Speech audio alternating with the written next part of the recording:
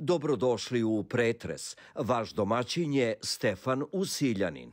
Dobroveče. Detinstvo kao bajka. Odrasla je pod staklenim zvonom i budnim pogledima svoje porodice. Ona okom, roditelji, sestre skokom. Tako je bilo do jednog trenutka i onda je shvatila da je odrasla i da dalje mora sama. Njen osmeh i njene obline su njeni zaštitni znaci. Privatan život krije od očiju javnosti. Puno se spekulisalo o njoj i njenim postupcima i došlo je vreme da govori jasno i glasno. Večeras nema odgovora, ne znam i ne bih o tome. Vatrena crnka koja je čekala ovaj trenutak. Preko puta mene, Ivana Krunić. Dobroveče, dobrodošla. Dobroveče, Stefane. Ja hoću ovakvu najavu. hvala ti. Hvala ti, veliki pozdrav tebi i naravno svim gledalcima Hype televizije. I hvala ti na pozivu. Hvala tebi što večera sediš preko puta meni što ćemo da govorimo, pa jasno i glasno. Apsolutno, pa kao i uvek. Vatrena crnka koja je čekala ovaj trenutak. Zašto imam osjećaj da si zaista čekala nešto da kažeš? Pa e, čekala sam iskreno tvoju emisiju, zato što je mnogo cenim, mnogo volim da gledam tvoje emisije. Hvala ti na tome. Mnogo mi se sviđa tvoje profesionalo, što se tako ozbiljno spremaš za za novinarski posao, tako da e, hvala ti. E, mogu kažem da sam ja nekada se bavila novinarstvom i mogu da ti kažem s druge strane hvala ti što ceniš ovu profesiju i što je radiš baš onako kako treba. Hvala ti na tome Ivana i ovo su stvarno lepi komplimenti, ali i posle ovih komplimenta neću te štediti. Ne, nemoj, nemoj, to ne bi ni očekivala, baš sam žela da mi bude malo zabavno i da me malo neko e, izbaci iz te neke učaurenosti i konstantno istih pitanja e, na koje sam navikla i onako ko papagaj odgovaram, jer ne znam šta bi više rekla. Tako da baš me zanima šta si sve istražio. Da, dosta sam e, tražio o tebi, dosta sam se pripremao, zaista i Uh, Biće ovo jedna zanimljiva i turbulentna emisija, mogu ti reći. Da. Uh, svidela ti se najava? Da, jako. Jel bi nešto ti tu menjala, korigovala? A ništa, bukvalno kao da si živeo sa nama i video kako je sve to izgledalo.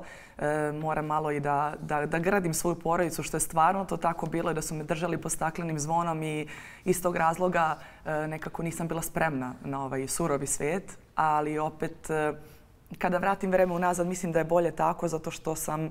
Pa, e, pa ajde, izgurali su da to vaspitanje bude da rezultat tog vaspitanja bude neko ko je ok čovjek, znaš.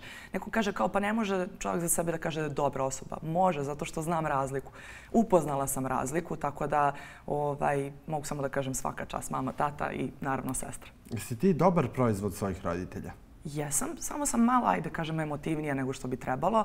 Ali opet, s druge strane, mislim da, da je to prednost. Pogotovo kod nas umetnika, e, kada imaš previše emocija, kad si jedna e, jedna bomba od emocija, e, onda to ja prenesem na tekstove, na muziku. Pre sam plakala zbog te emotivnosti i onda sam rekla sebi, ne, ti nemaš manu, ti imaš blagoslov, bukvalno, kada sve to tako osjećaš više i jače nego drugi ljudi. Iz tog razloga sam u posljednjih dve godine baš onako aktivno počela da pišem mnogo dobre tekstove. E, kako za sebe, tako ću malo i da nudim svojim kolegama, jer mislim da su to sve neopevane teme. E, nisam samo pričala o svojim pričama, nego i o, volim tako da prikupim tuđe ovaj, e, pa neke sociološke teme i onda samo stavim u tekst i ponekad i plačem nad, nad tekstovima, nekad se smejem i tako dalje, ali sam zapravo sve prebacila u svoju korist. Mhm. Uh -huh.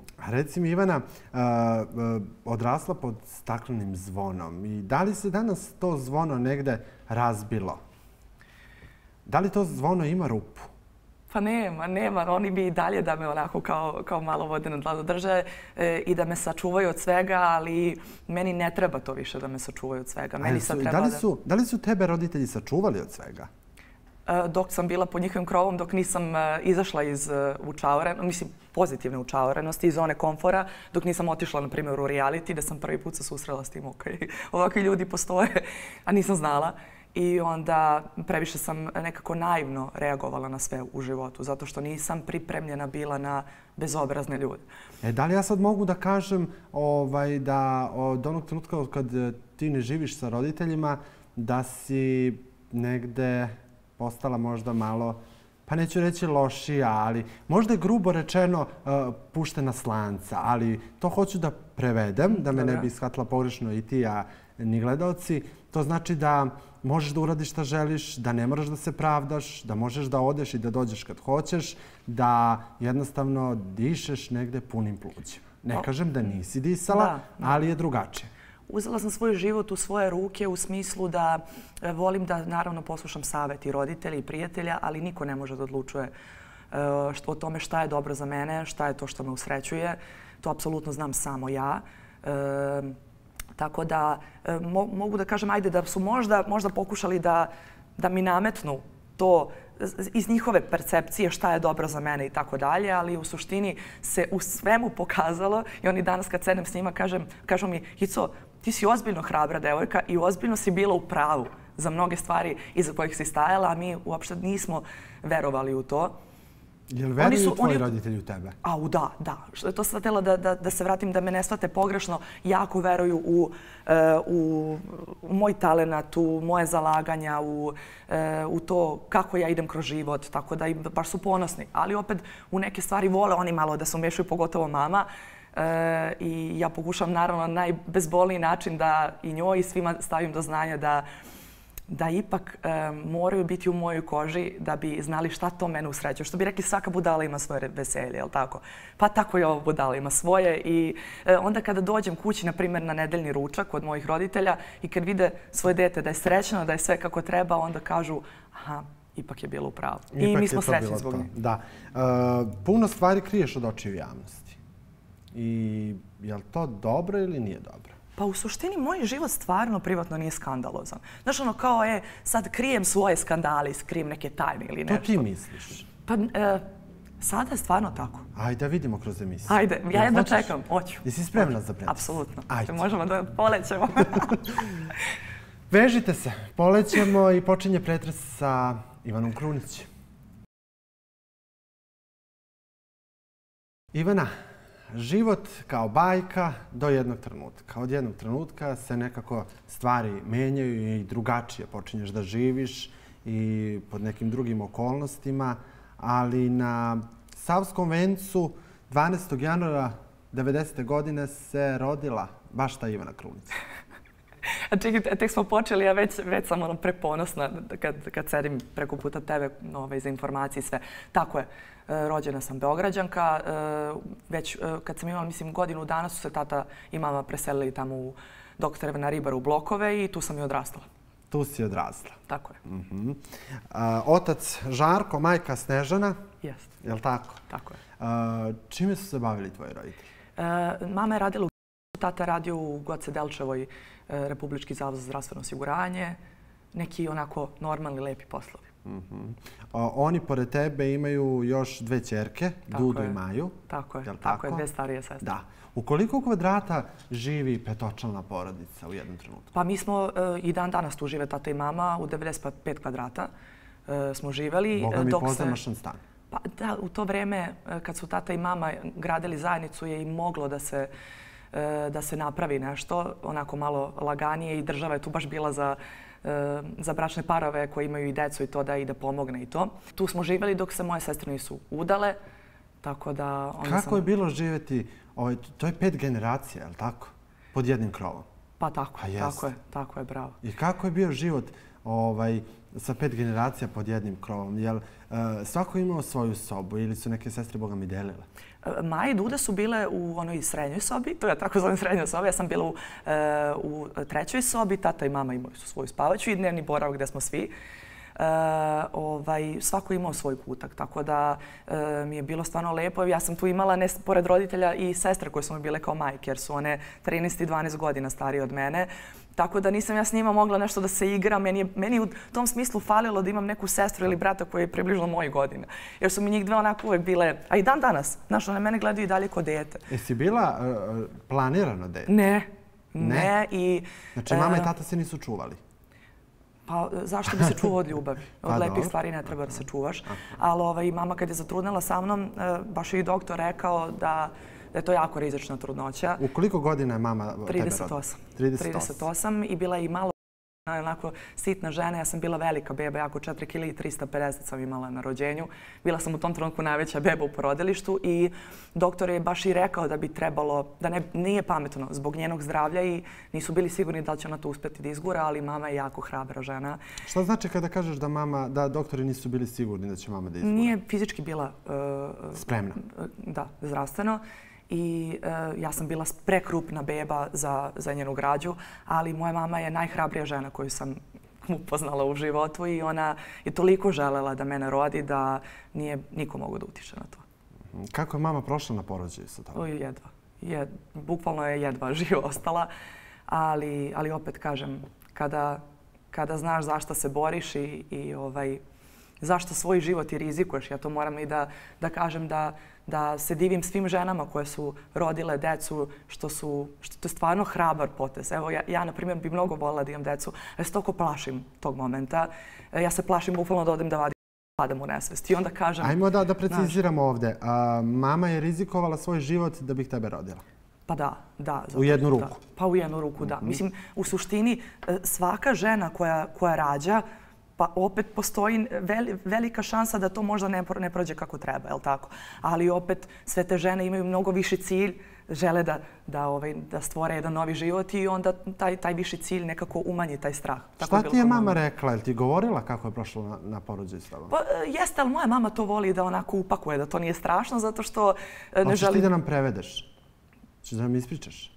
Pa ne bih, ne bih zalazila, baš to je baš onako mamina intima, to ne bih baš ulazila u to, uh, ali mogu da kažem samo da, da nije bilo lako, ali da ona, uh, nikad meni ona nije pričala u tom smislu da je to teško, nego su više moje sestre i tata... Koje su prolazile možda sa njom Pa tako je, to sve i onda mi kao ispričaju i onda ja kao... da. Pomenula si da su ti sestre bile kao druga majka. Tako je. Da li se u vašoj porodici pravila razlika između roditelja i dece ili ste bili prijatelji? Uvek je bilo to otac, majka, dete. Dokle nismo sazrele, e onda su sada naši roditelji s nama prijatelji. Još to su uradili, to su uradili. Znaš, uvijek su balansirali. Nekako mama je bila e, više e, blaga, popustljiva. Tata je bio taj koji je e, bio strog i onda tata nije morao ni ništa nam kaže, samo nas onako pogleda i bukvalno ti se gledi i naravno da ćeš da poslušaš. Ovaj, a nikad neću zaboraviti. Dobro, mislim, i ja sam u to vreme su našo ono, bile i dozvoljene da malo po dete, tako sad nikad neću zaboraviti kad me mama jurila oko trapezarijskog stola. da me je li je bilo Pa jeste, ali ja kažem hvala Bogu, zato što Uh, zato što kod mene je to urodilo plodom i kod mojih sestara, mislim, smo baš vaspitana deca. Ali nije to bilo ono preterivanje, nego ono pogledajte klepi i to je to. Ovaj, ali opet meni je bilo gore to kada mi kažu sedi tu, moramo da porazgovaramo. Ja kažem, mama, tata, bolje mi lupite šačinu ili uvijete me nego da me mučite ovako, znaš, ono sada da mi driblaju i prave lekcije, to mi je mnogo teže padalo. Uh, reci mi, Ivana, Koliko si ponosna na svoje sestre? Jako, jako. E, najstarije sestre ima troje dece, e, srednja sestra jednog sina, e, e, imaju super zaposlenje, zadovoljne su svojim životom. Sve je stvarno kako treba. Uh mhm. -huh. A, reci mi, za koje, si više, za koje si više vezana? Za Dudu ili za Maju? Pa ja mislim, Ja mislim da, eh, kako bih to rekla, eh, Duda je malo ovako sama po sebi malo distancirana osoba, pa možda zbog toga, ali obih volim jednako. Ali možda sam za Maju bila više vezanija jer Duda je malo ranije sudala, eh, Maja kasnije i onda... Tako i Maja, s Majom sam duže živjela u istom stanu i Maja me uvek svako jutro ovaj, ispremala za školu i pravila mi kikice i vodila me i tako dalje. Tako da, eto, možda ovako kao vezanija da mi je tu bliža, ali neizmerno ih volim obe jednako. Duda ima troje dece, Maja jedno dete. Znači, ponosna tetka. Tako je. Je li tako? Njih tako, četvoro. Četvoro, tako. Da. E, tri sestriće i jedna sestričina. Eto, je li sestričina posebna? Naj, najposebnije dete na svetu. Ja sam toliko ponosna na nju. To je najinteligentnije e, najinteligentnija osoba u našoj porodici, cijeloj. Kad obuhvatiš bukvalno sve generacije. Nenormalno je pametna. Mm -hmm onako... I trenira odbojku. Je li ima ono, pa neću da kažem gene na tebe, ali je li ima tih nekih sposobnosti koje imaš ti? Ona je za sport jako talentovana. Talent neki, je li povukla na te? Je li povuko neko nešto na tebe? Pa, e, u, suštini, ja sam izrod u svojoj porodici. Ti si izrod? Da. Znači, e, prvo i po stavovima, shvatanju načina života, mm -hmm. po talentu, po nekim životnim, životnom putu, po svemu imam drugačije stavove. Uh, ali oni me vole baš takvu kakva jesam i ja sam im baš onako zabavna. Ti im dođeš kao zabava, Da, da oni umru od smeha kad ja dođem svaki put. Maja je razvedena. Uh -huh. Kako je razvod Majin uticao na vas kao cijelu, celokupnu porodicu, pošto ste vi zaista vezani? Svi Da, jest. ste negde vezani. Nas je- nas- Kako je to uticalo na vas? Nas su otac i majka uvek učili. Nije, kad se udaš, nije ti dobro, nije kako treba. Naša vrata su ti uvek ot- otvorena, ovo je tvoj dom, ovo je tvoja kuća. Ništa u životu ne smeš da trpiš. Znači imaš nas uvek u svakom životnom problemu i to je moja Maja ozbiljno shvatila. Kad Kome je da- Maja prvo rekla da zaista želi da... Pa svima nama. Maja je, Maja je laf. Ona uopšte ništa ne trpi u životu. Znači ona je i uopšte ne pati. E, Maja je neko kad joj nešto ne odgovara, ona ode tamo da odgovara. I to A je to. zašto se razvela tvoja sestra? Pa mm, ne bih pričala o tome. To je ipak njena stvar, njena intima. Nisu se slagali i to je to. Ali je bitno da, da je ona sada srećna, da ima svog sinčića na koga smo svi ponosni, na našeg Niđu. I...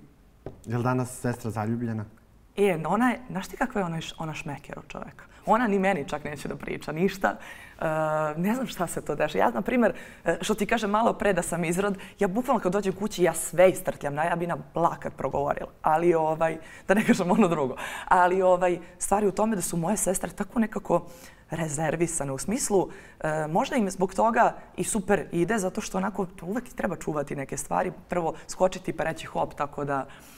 Ali vidim po njima da su sretne. Naš ne mora da mi ispriča, ne mora da mi kaže Pa da dobro, bi... to je negde znao. i najbitnije. Tako Suma je. sumaru na kraju dana je najbitnije da... Ili cakle oči, da ili ne. bude, eh, jest. Tebi cakla, ali pričat ćemo i o tome. uh, odrasla si između 72. i 63. bloka. Tako je. Bravo na preciznosti. Eto. Uh, Svaka čast. Ivana, uh, kako je bilo odrastanje? E, e, dok sam bila u vrtiću, taj period dok sam se igrala ispred zgrade, s druga fenomenalan. Ja sam imala pravo na detinstvo kakvo bi dana želela i drugoj deci koja, nažalost, ne izlaze iz kuće, nego su pored svojih ekrana, telefona, tableta i tako dalje i uopšte ne znaju šta propuštaju. Ova, ja sam se igrala, meni nisi, nisi mogo da, da vratiš kući, da, da dođem na ručak ili da spavam.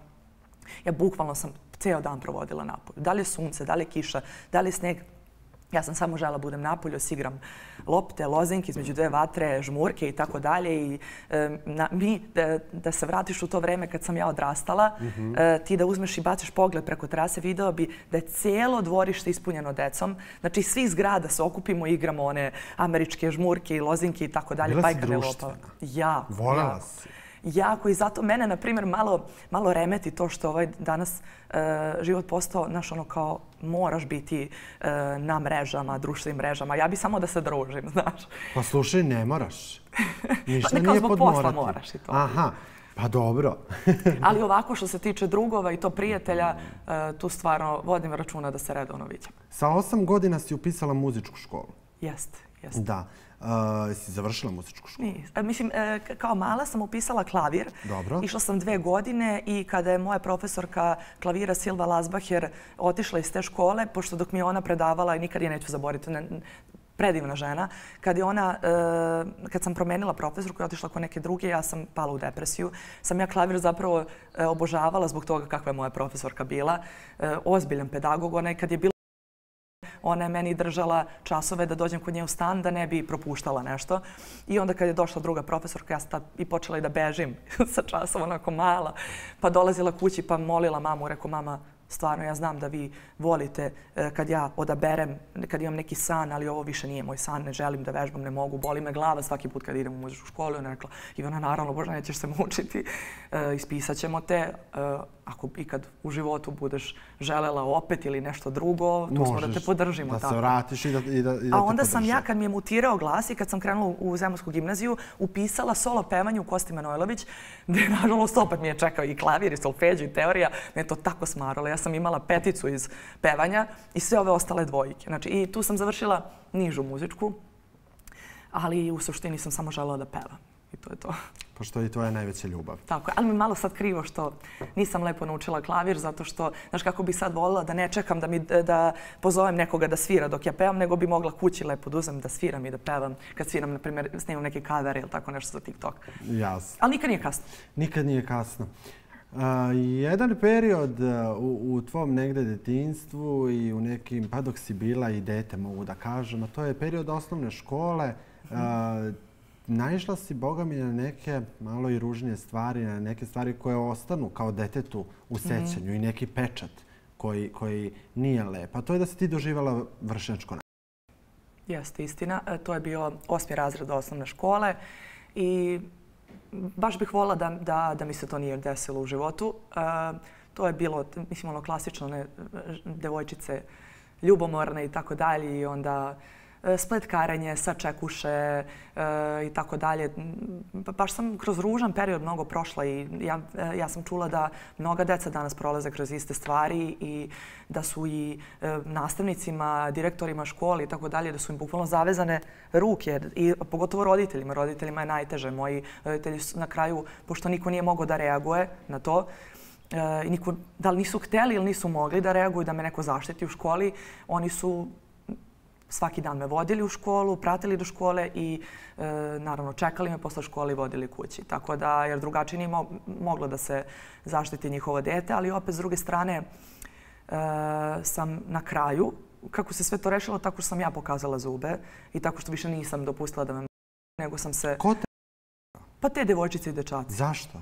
Zato što je taj dečko od te glavne e, ribe bio zaljubljen u mene i to ona nije mogla podnese i tako da. A ja sam uvijek bila ono povučeno dete. Ja nikad nisam bila deo klanova, e, onih ženskih klanova. Prime mene kada bi neka od njih htjela se ili druži ili da, da, da uđem u njihovu grupu, ja to nisam žalala.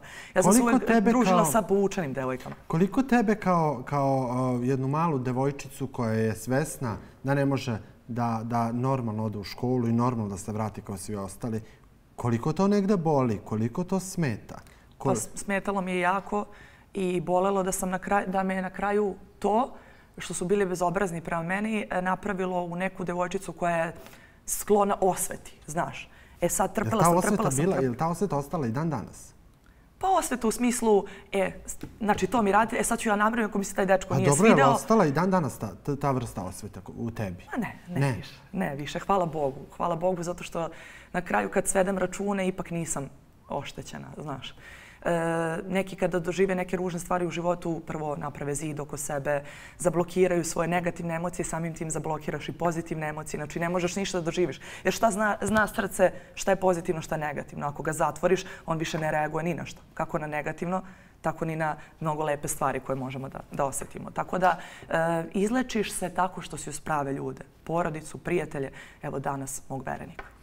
I ovim putem apelujemo na sve gledalce i na svu decu ovog sveta. Na ne, ne i ne. Sve može mirnim i lepim razgovorom da se završi, da se reši. Se slažeš? Apsolutno. Svaka čast. Uh, ti nisi upoznala uh, roditelje tvojih roditelja, je li tako? Kako? Ti ni... Ja sam, ja sam, ja sam, nego sam bila, bila sam, kad su uh, tatini roditelji umrli, ja sam bila baš mala, imala sam oko 6-7 godina. Uh, uh, isto mamin tata, a uh, mamina mama je skoro ceo život. Znači, Ona je provela aha, sa vama, ali si bila jako mala kada su preminuli uh, ta, tatini roditelji, je li tako? I mamin, i mamin, I mamin tata, da. I mamin tata, da. Ali posebno mesto u tvom uh, životu uh, ima i, i posebnu ljubav uh, baka Milka, je li da? Yes. Ona je mamina mama. Tako je. I to je osoba za koju si ti bila jako vezana i uh, baka Milka je preminula pre? Uh, ima dve godine. Dve godine.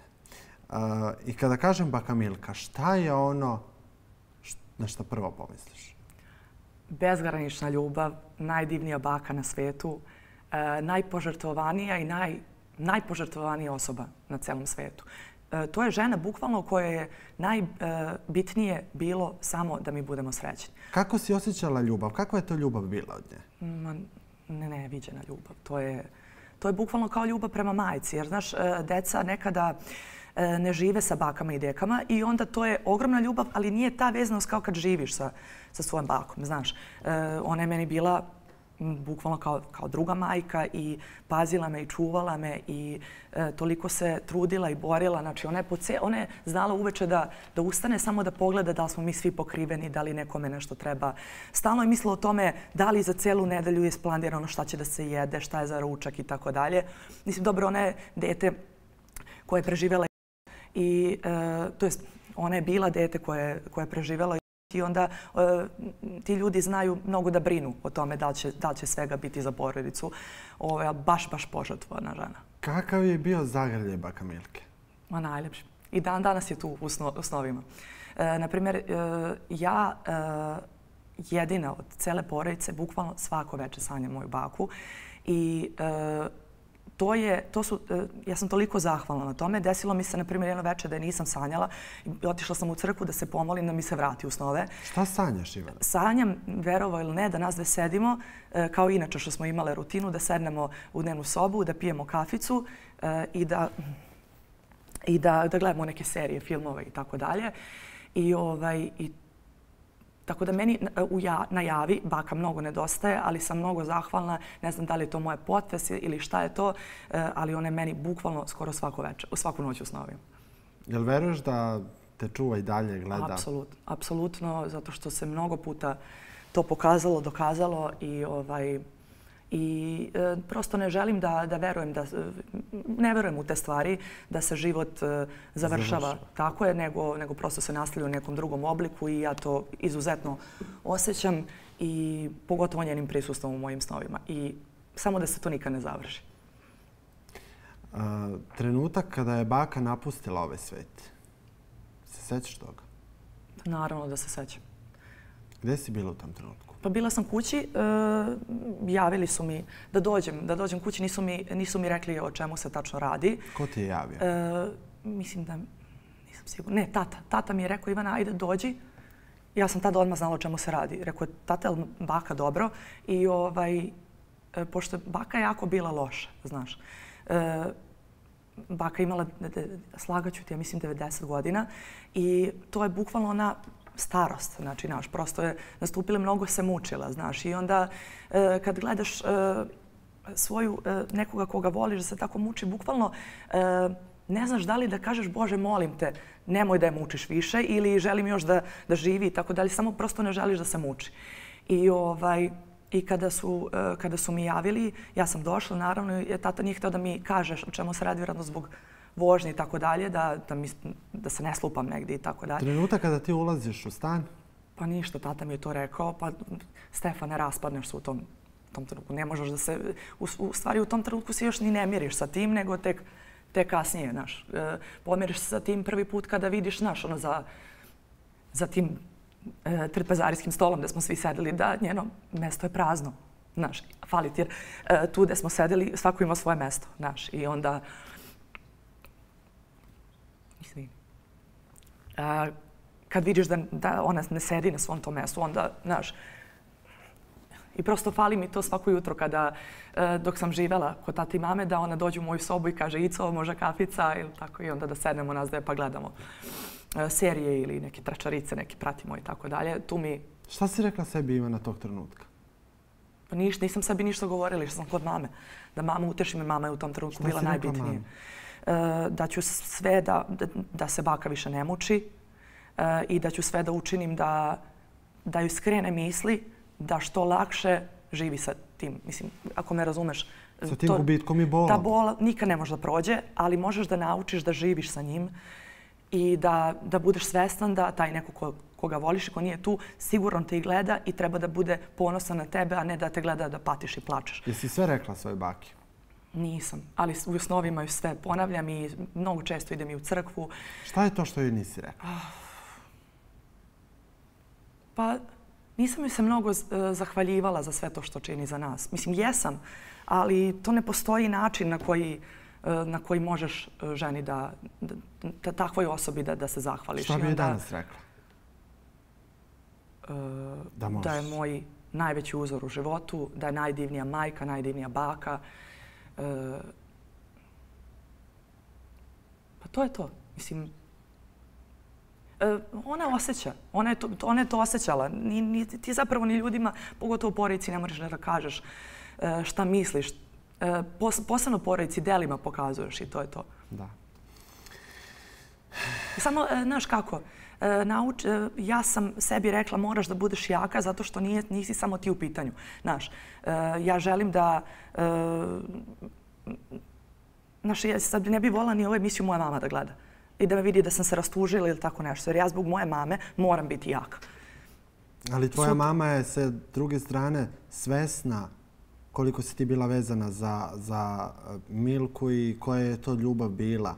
I verovatno mama, ako ti nije rekla, mama to osjeća i zna. Pa kako ne? Kako ne?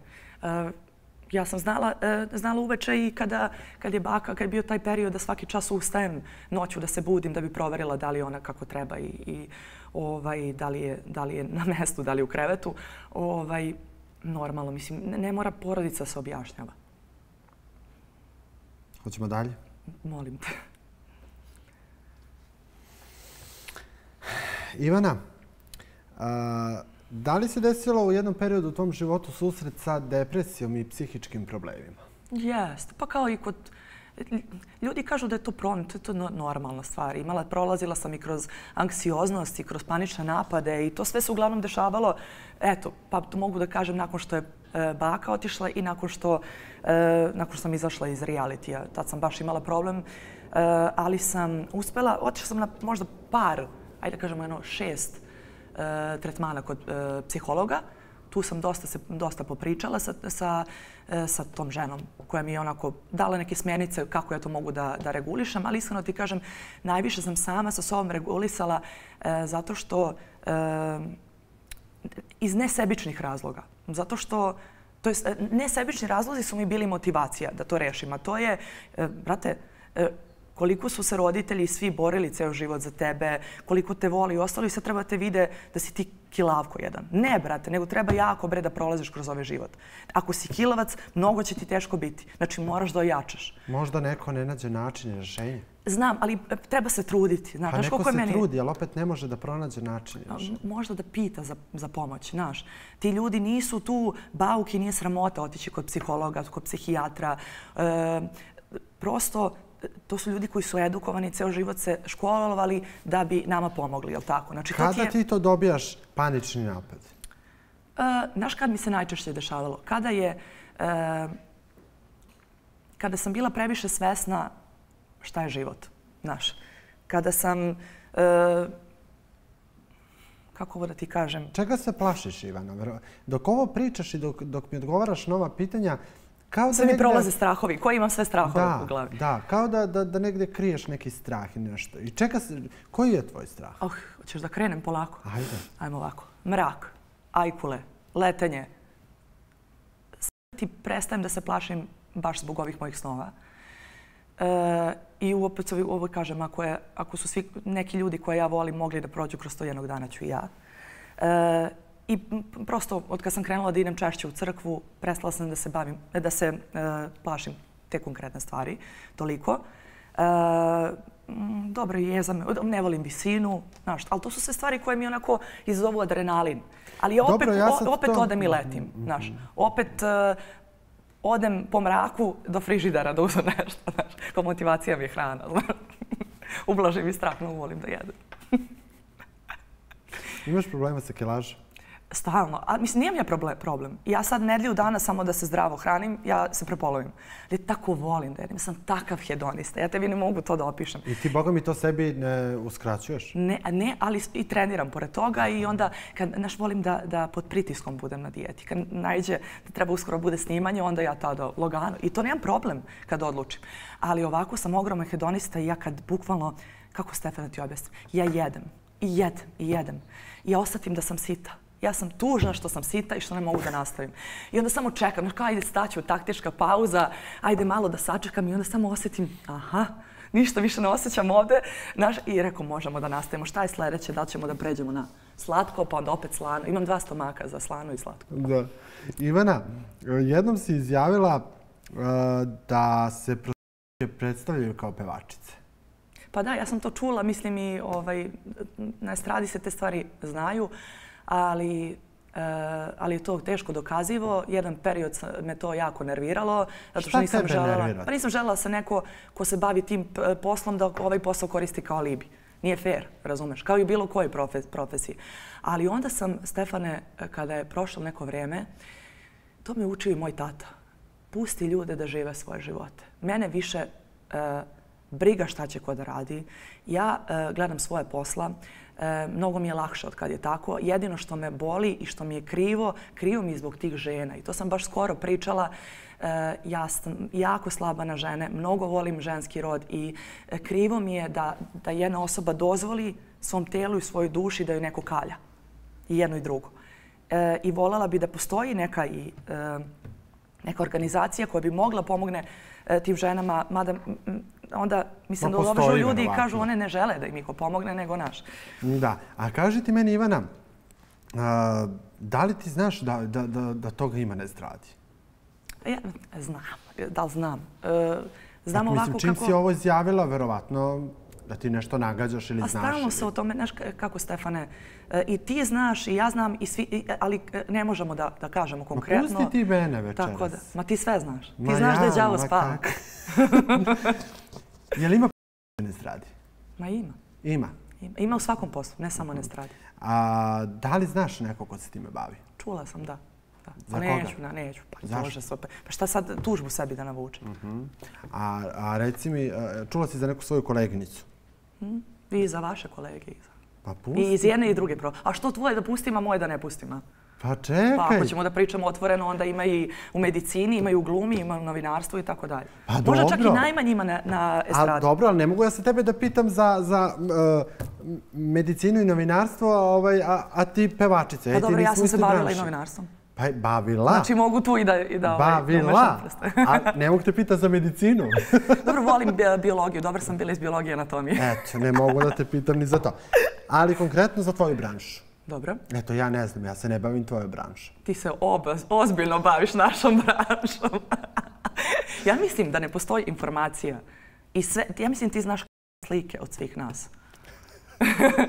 Koje smo rupa, sve, znači sve, veruj mi. I znaš kako oni u, u filmovima, eh, one kad uđeš kod tebe u stan, ono po zidovima, znaš, oni zakačene, znaš, pa kao krvna slika, ovaj, prošlost, eh, porodično stablo, pa Ovo znaš ću sva da shvatim imena. kao kompliment i hvala ti. To je samo dokaz da ja dobro, ovaj, da se dobro pripremim za, za sagovornika.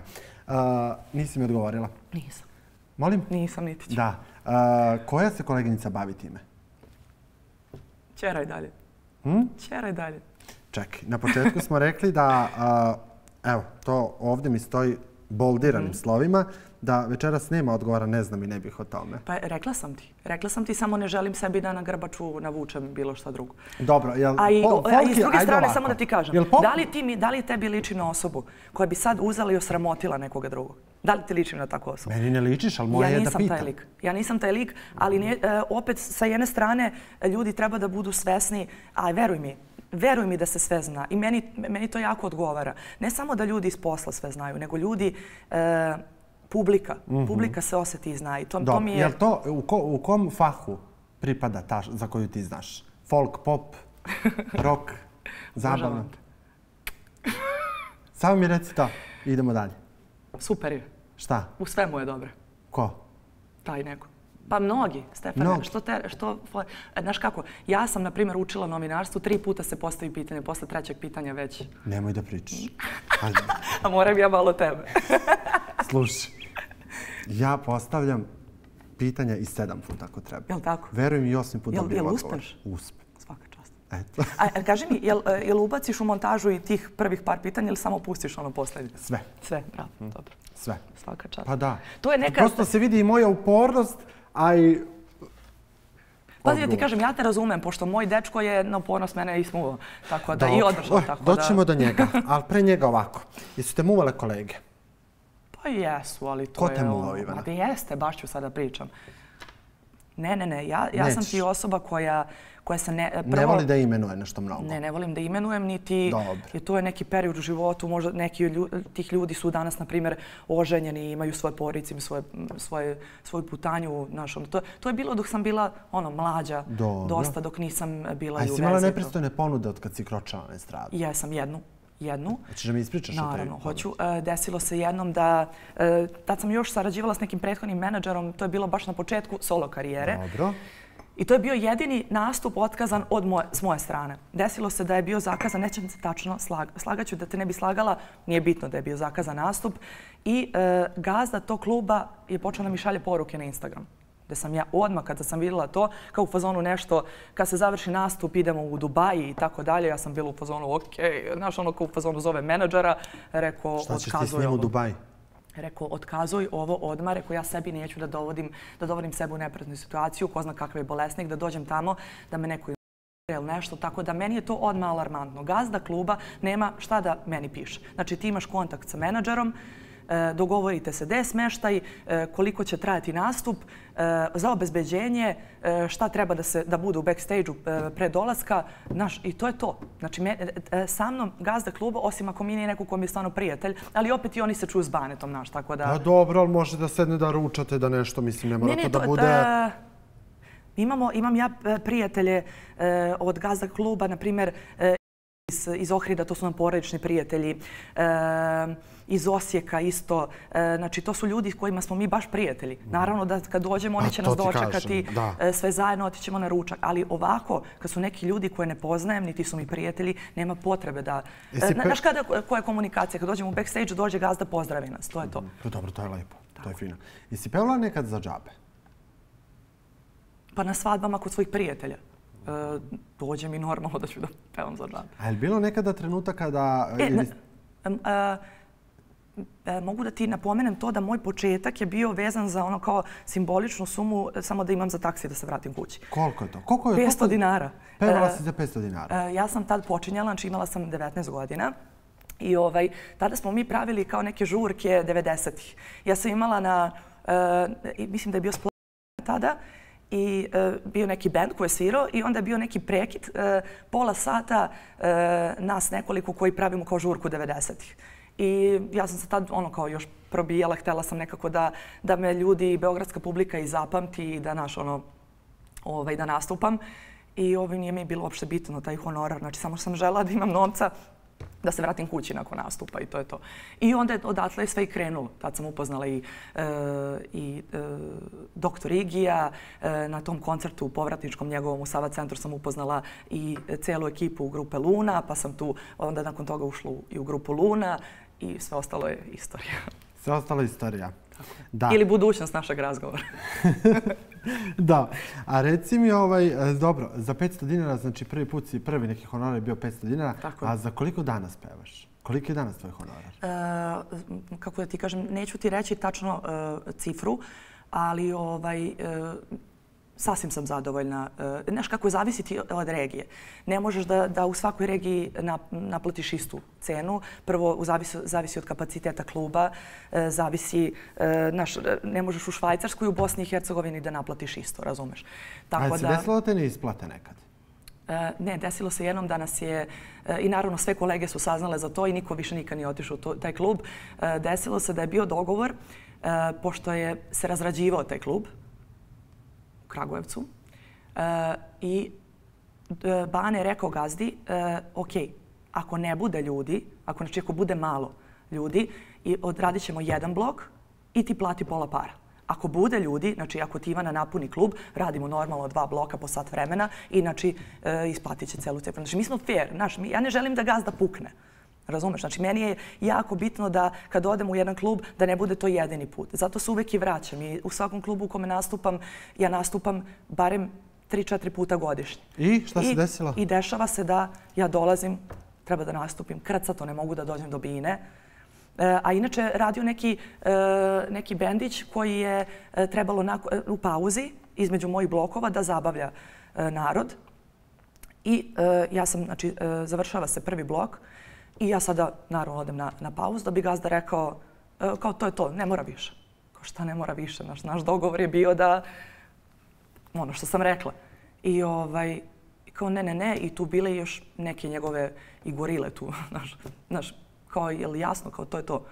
Kao, znaš, pa šta ćeš na njihovom si trenu? Sigurno se bijem s nekim, mislim, i odeš kući, to je to, javiš ostalim kolegama. Hvala Bogu, uh, mi svi na estradi smo jako umreženi i ako jedan gazda zezne nekoga, uh, prvo ne da većina se neće odazvati da dođe više u taj klub, nego će ili tražiti avans ili sve pare unapred. Tako da... I tad su ti isplatili pola? Pola i nikad se, niko više nije došao u taj klub. Mm -hmm. Dobro. Ivana, Pomenula si, e, to jest pomenuo sam na samom početku da se dosta nekih stvari možda i u tom privatnom životu krije. I pripremajući se za ovu emisiju, dođe do jedne informacije. Dobro. Uh, Ivana Krunić uh, slala poruke pokojnom danas Milutinu Mrkonjiću. Stefane, samo ću ti reći jednu, jednu stvar. Ja dok sam bila u reality, u, ra, u realitiju, takve grozote su izlazile o meni. Svaka, svaka bukvalno je laž. Ja bih samo mogla da ti kažem, nek ide na dušu e, svima njima koji su takve stvari izmišljali o meni, svima njima koji su imali duše da napišu takve laži. I se sećaš tih naslova? E, sećam se kad sam izašla. Dobro. I kad mi je mama je ovako donela pun špil novina, stavila ispred mene. Ta vest. Krala pare unutar grupe Luna. E, varala čedinog sina. Uh, Aj, pusti to. Ajde da se vratimo konkretno na ovu situaciju. Imaš mnogo, uh, mnogo naslova. U svakom slučaju sve je bilo laž. A molim te, je li istina si slala Milutinu Bože sačuvaj. Poruke? Bože sačuvaj. Bože sačuvaj. Jer ti liči na takvu osobu. Zašto to onda, zašto to tako piše?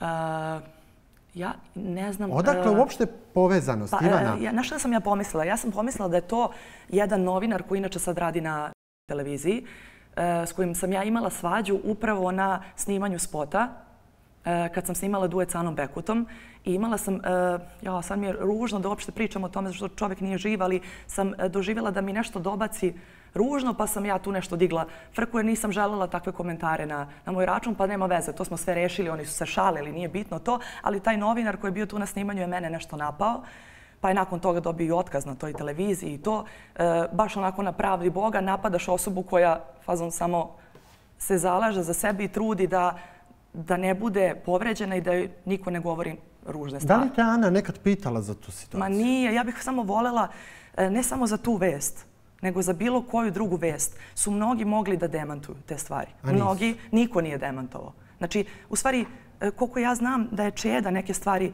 demantovao koje su bile, e, koje su bile vezane za, za grupu Luna, to je super, jer ja nikada ne bi, pa čak i da, na primjer, nisam dobra s nekim, ja bih, ako izađe laž o tom nekome, ja ne bih čutala, ja bih rekla e, i rekla da li je to istina ili ne.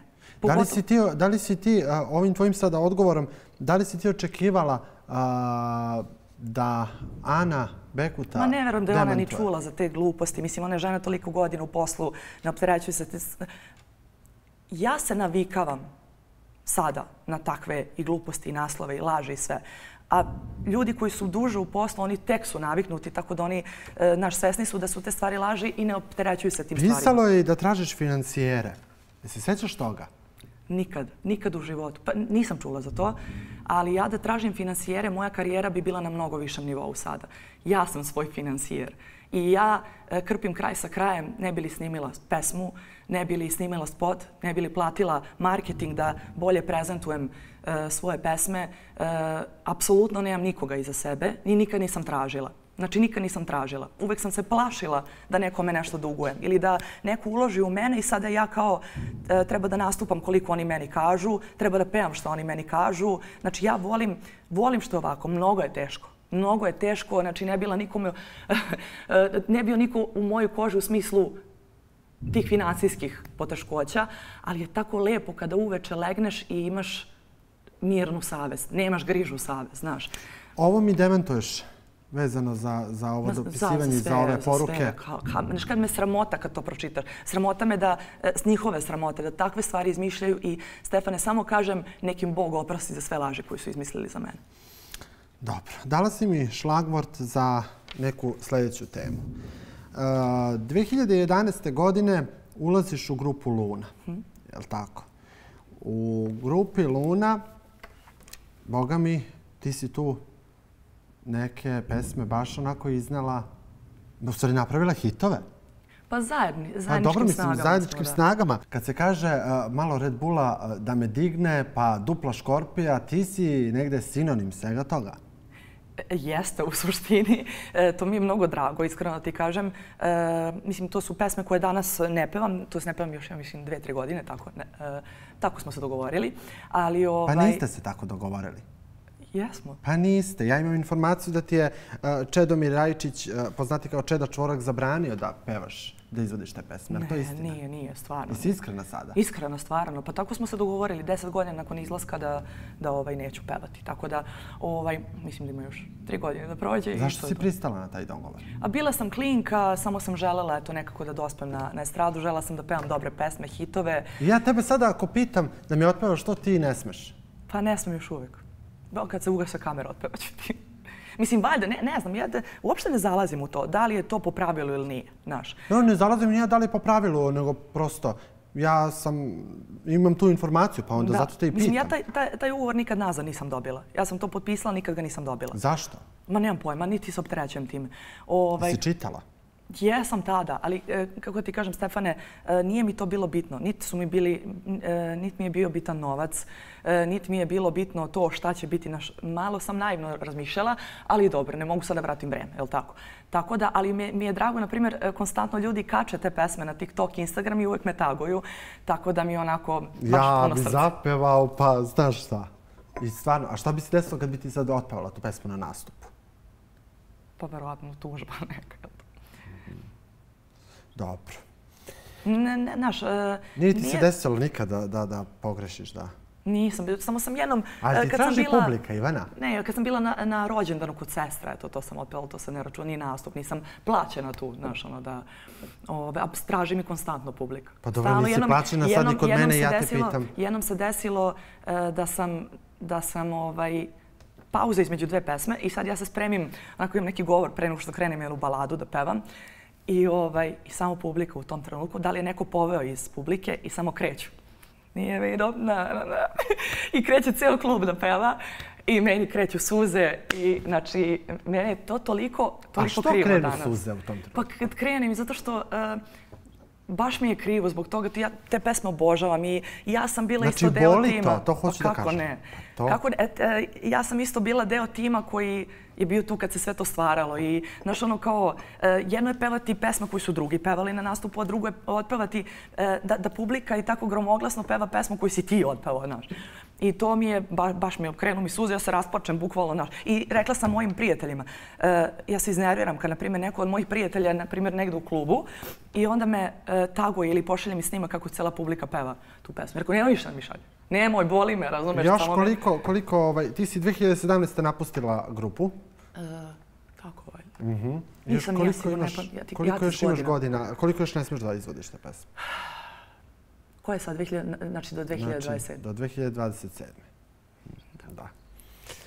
Dobro. A na šta će biti? Sad ću da ti kažem. Kakav sam ja baksus. Kad dođe taj trenutak da ja mogu, ja ću tada nabodem hit. znači, ja im hoće da sad trpim ono prokletstvo na tih 10 godina nakon izlaska i kada budem smela da pevam, te, ja ću tada nabodem hit. Jel možeš da kažeš To mi neće sebe... biti ono kao i Beatles. Jel možeš da kažeš za sebe da si zvezda? Ne. Ne. Kakvi? Pa nisam ja ni na 20% od, od onoga na čemu radim. A Ovaj, zašto, zašto, zašto nisi zvezda? Zašto, zašto ovaj, A pa možda zato što imam šta da izgubim još uvek. Mislim, e, kako to ti kažem da me pogrešno ne shvatiš? E, ja sam neko ko voli da gradi karijeru, prvo malo pre sam ti rekla, bez ikakvih financijera. Znači, moju karijeru niko ne može da pogura. Jer hoćeš E, da mi niko- kažeš da zvezde imaju sam financijere? Ne, ne, e, nemoj pogrešno me shvatiš. Sad ću da ti ispričam sve pa ćeš e, razumeti. E, znači, meni niko ne može da niko nije stao iza mene. Znaš, tu imaš produkcijske kuće, e, imaš, e, na primjer, financijere ili tako dalje, da ti možda, e, ti neko kaže sad ideš u tu i tu, na primjer, najjaču emisiju da promovišeš na najjače televiziji. Evo, na primjer, ja sam presrećna što sam došla na Hype televiziju. Ja prvi put kad sam bila na Hype televiziji, sam bila u fazonu, hvala Bogu da sam konačno došla na neku televiziju gde su svi kako treba, da svi rade svoj posao kako treba i koji svi, da svi poštuju svog gosta. Hvala ti na tome. Na primjer, ja radim, radim, radim, pa uzmem i izbacim pesmu. I sad, na primjer, e, moja e, odskočna daska je samo moj YouTube kanal, ono što objavim TikTok, Instagram i tako. Znači, ja nemam e, od, odsko, odsko, odskočnu, Odskočnu, odskočnu da. dasku u vidu nekog e, ko će da grune to sve u sve medije, na sve radio stanice. Ali bi ti voljela da neko grune? Pa, pa u smislu, ali da, ali šta je za uzvrat? Ne želim da prodam dušu đavolu da bi to neko grudnuo svuda. Razumeš? Ne kažem da su drugi to uradili, ali ono Ali što je mene... ljudi prodaju dušu đavolu. Pa svi smo svedoci da je to tako. Svi smo svedoci da je to tako, ali ja ne želim da, mi, da, da budem rob ničega. Ja želim da imam slobodu. Da bi, e, da bi tako živao kako ja živim, onda možda postoji mogućnost da nikada neću dostići onaj level koji sam, na primjer, kao, o kome sam kao mala maštala. Ali to nije problem. Meni ja to nije ne bih problem. mogu baš da se složim tu sa tobom, jer prosto uh, nisu svi prodali dušu đavolu. Nisu svi, naravno, da nisu. Znaš, ne mogu da generalizujem neke stvari, jer prosto, ovaj, konkretno te stvari, uh, imaš dosta ljudi koji stvarno imaju taj neki, pa ne znam, x, y, A ne, nisam ja z pričala o tome. Nisam ja faktor. pričala o tome. Ti možeš da imaš, znaš kakvu mašineriju za sebe, ali ako ti nisi taj džaba, ti ma, ta Pa mašinerija. jesi ti ta? E, ja ne znam. A ko će meni, da ljudi, zna? meni, meni ljudi i publika pokazuju da oni mene vole. A I šta da, ti osjećaš? Ogromnu ljubav. Ogromnu ljubav od njih i ja vidim po svojim nastupima. Znaš kako, e, ja ne iskačem iz frižidera, ali kad pogledaš, što bi Mile Kitić rekao, pogledajte tebe, semafor. Ivana, Molim da- te, samo ovo da ti kažem. Da pogledate semafor, kako ko nastupa, kakav je na terenu, da li puni klubove, da li ga publika stvarno ovako kao izvođača gotivi, mislim da je to najbolji pokazatelj. A nema me, ne iskačem iz frižidera što se tiče medija. Da li tvoja skromnost, Će me koštati u životu. pa ajde, Pa možda, ali na, na, po čemu nisam skromna uopšte? po čemu? po privatnom životu.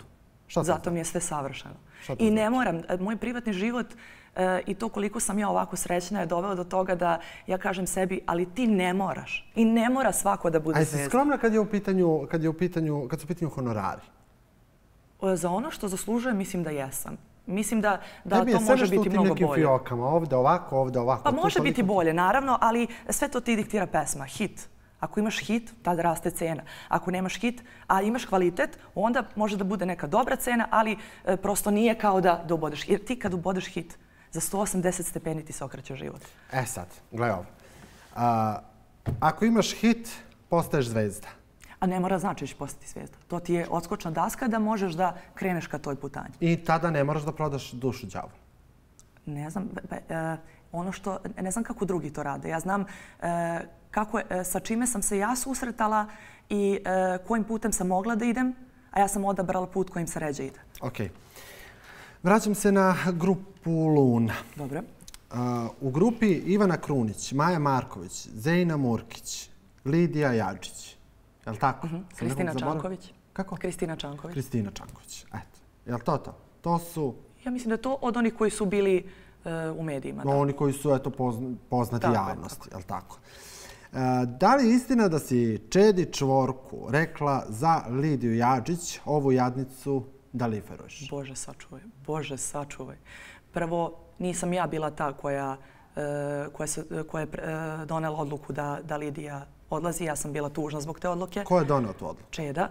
Ovaj, a što se tiče, jer je prosto, ne znam, ne znam šta su, mislim, znam koji su razlozi, ali ne želim da pričam o tome. Neko, kako mi je ikad bio prijatelj, i da mi je danas, da nismo u dobrim odnosima, ja ne iznosim ništa. U svakom slučaju, Da li ja sam si s ti sa Lidijom... Lidijom dobar? Savršeno. Znači, nas dve smo mnogo dobre e, A i sa dan kim danas... nisi iz grupe u Samo dobrom sa smislu? Čedom, ni, ni sa kim više. Sa ostalim koleginicama si... Sa, sa Zenom se nikad nisam ni družila, ali ovako podržavam je. Ovaj, A e, i ostale ona mene. Maja? Maju sam samo jednom upoznala na nekom događaju i to je bilo to. Nikad više nisam ni, Mhm. ni videla. Da. Ti si bila u ljubavnoj vezi sa Mihajlom Rajčić, je li tako? Sa čedinim sinom. Tako. Koliko dugo? Osam godina. Osam godina. Je li to bila lepa ljubav? Jeste, jeste. Je li to bilo u nekim trenucima u tvojoj glavi ljubav za ceo život? Moja svaka ljubav je u tom trenutku sam mislila da je ljubav za ceo život. Ali tek kad sam upoznala Banet sam shvatila u stvari šta U, znači svi mi ozbiljno Baneta. voleti. Ba, mi imamo još, Nešto ne. mi imamo još do Baneta i Hahaj. Znaš ti, inače mene moji prijatelji kritikuju, neću te, te puno sada ti ove, u kratke crte, e, nećeš imaju, stalno, po- teme imaju stalno problem sa time što ja malo po malo popominjem ovog bana, Jasno. znači konstantno. Da. Uh, pominješ uh, više stvari. Večera si pomenula neke krucijalne stvari. Dobro. Ovaj, više puta. Ti ćeš mi reći šta. ovaj, uh, da. Uh, kakva je bila ljubav sa Mihajlom? E, lepa, e, bezbrižna, Osam divna. godina. Osam godina, da. Pa ne, ne bih osam godina bila s nekim u vezi da mi nije bilo lepo. Dobro. E sad, to negde uh, se prosto kosi sa godinama tvojim provedenim u grupi. Mhm. Uh, da li je Mihajlo bio ulaznica za ulazak u grupu? Ne, evo hronološki, ja sam ušla u grupu, nakon godinu dana sam se smuvala s Mihajlom. Šta te privuklo kod Mihajla? Duša. Duša. Samo No- no- duša? ma, dobro, normalno. Fizički mora neko da te privuče. Ali duša je ono što zadrži čoveka. Ima prelepu dušu i on je baš anđeo deteta. Mislim, deta čoveka.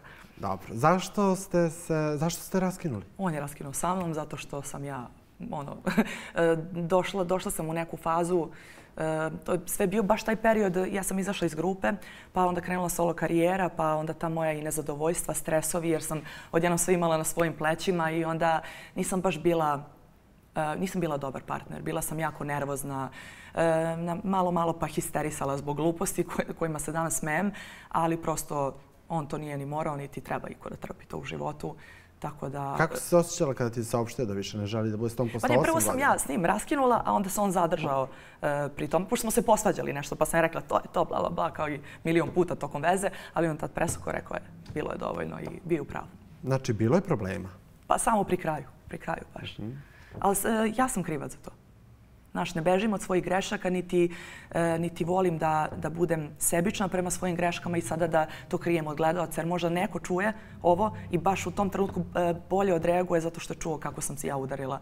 A u stvari, mislim, u tom trenutku sam ja mislila sam udarila e, glavom o zid. Ali kasnije se pokazalo da je samo sudbina sve to bilo. I ja tom čoveku stvarno želim sve najlepše u životu, sve najlepše zaslužuje i ozbiljan i talenat i sve i, i privatno i poslovno mu želim sve najlepše. Mhm. Nemaš nijednu lošu reč da kažeš Ma za kakvi? Pa Da. ko, ko ima, ne bi se dobro proveo. Dobro. Da li je istina da si uh, Mihajla varala? Ne, ne. Zašto je to pisalo u medijima? Pa kao i ono malo pre što si čitao. Šta, a baš, baš kreativno, znaš.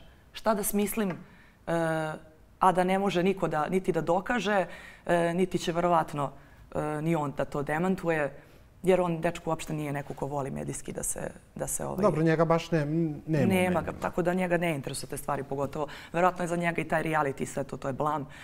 Ovaj, ali e, kao sve, što, sve laži koje su izlazile o meni tokom realitija, tako i to bila jedna od njih, ali opet kažem, neki ide na njihovu dušu, pa to je to. Kako neko napiše da si varala svog dečka, a ti nisi?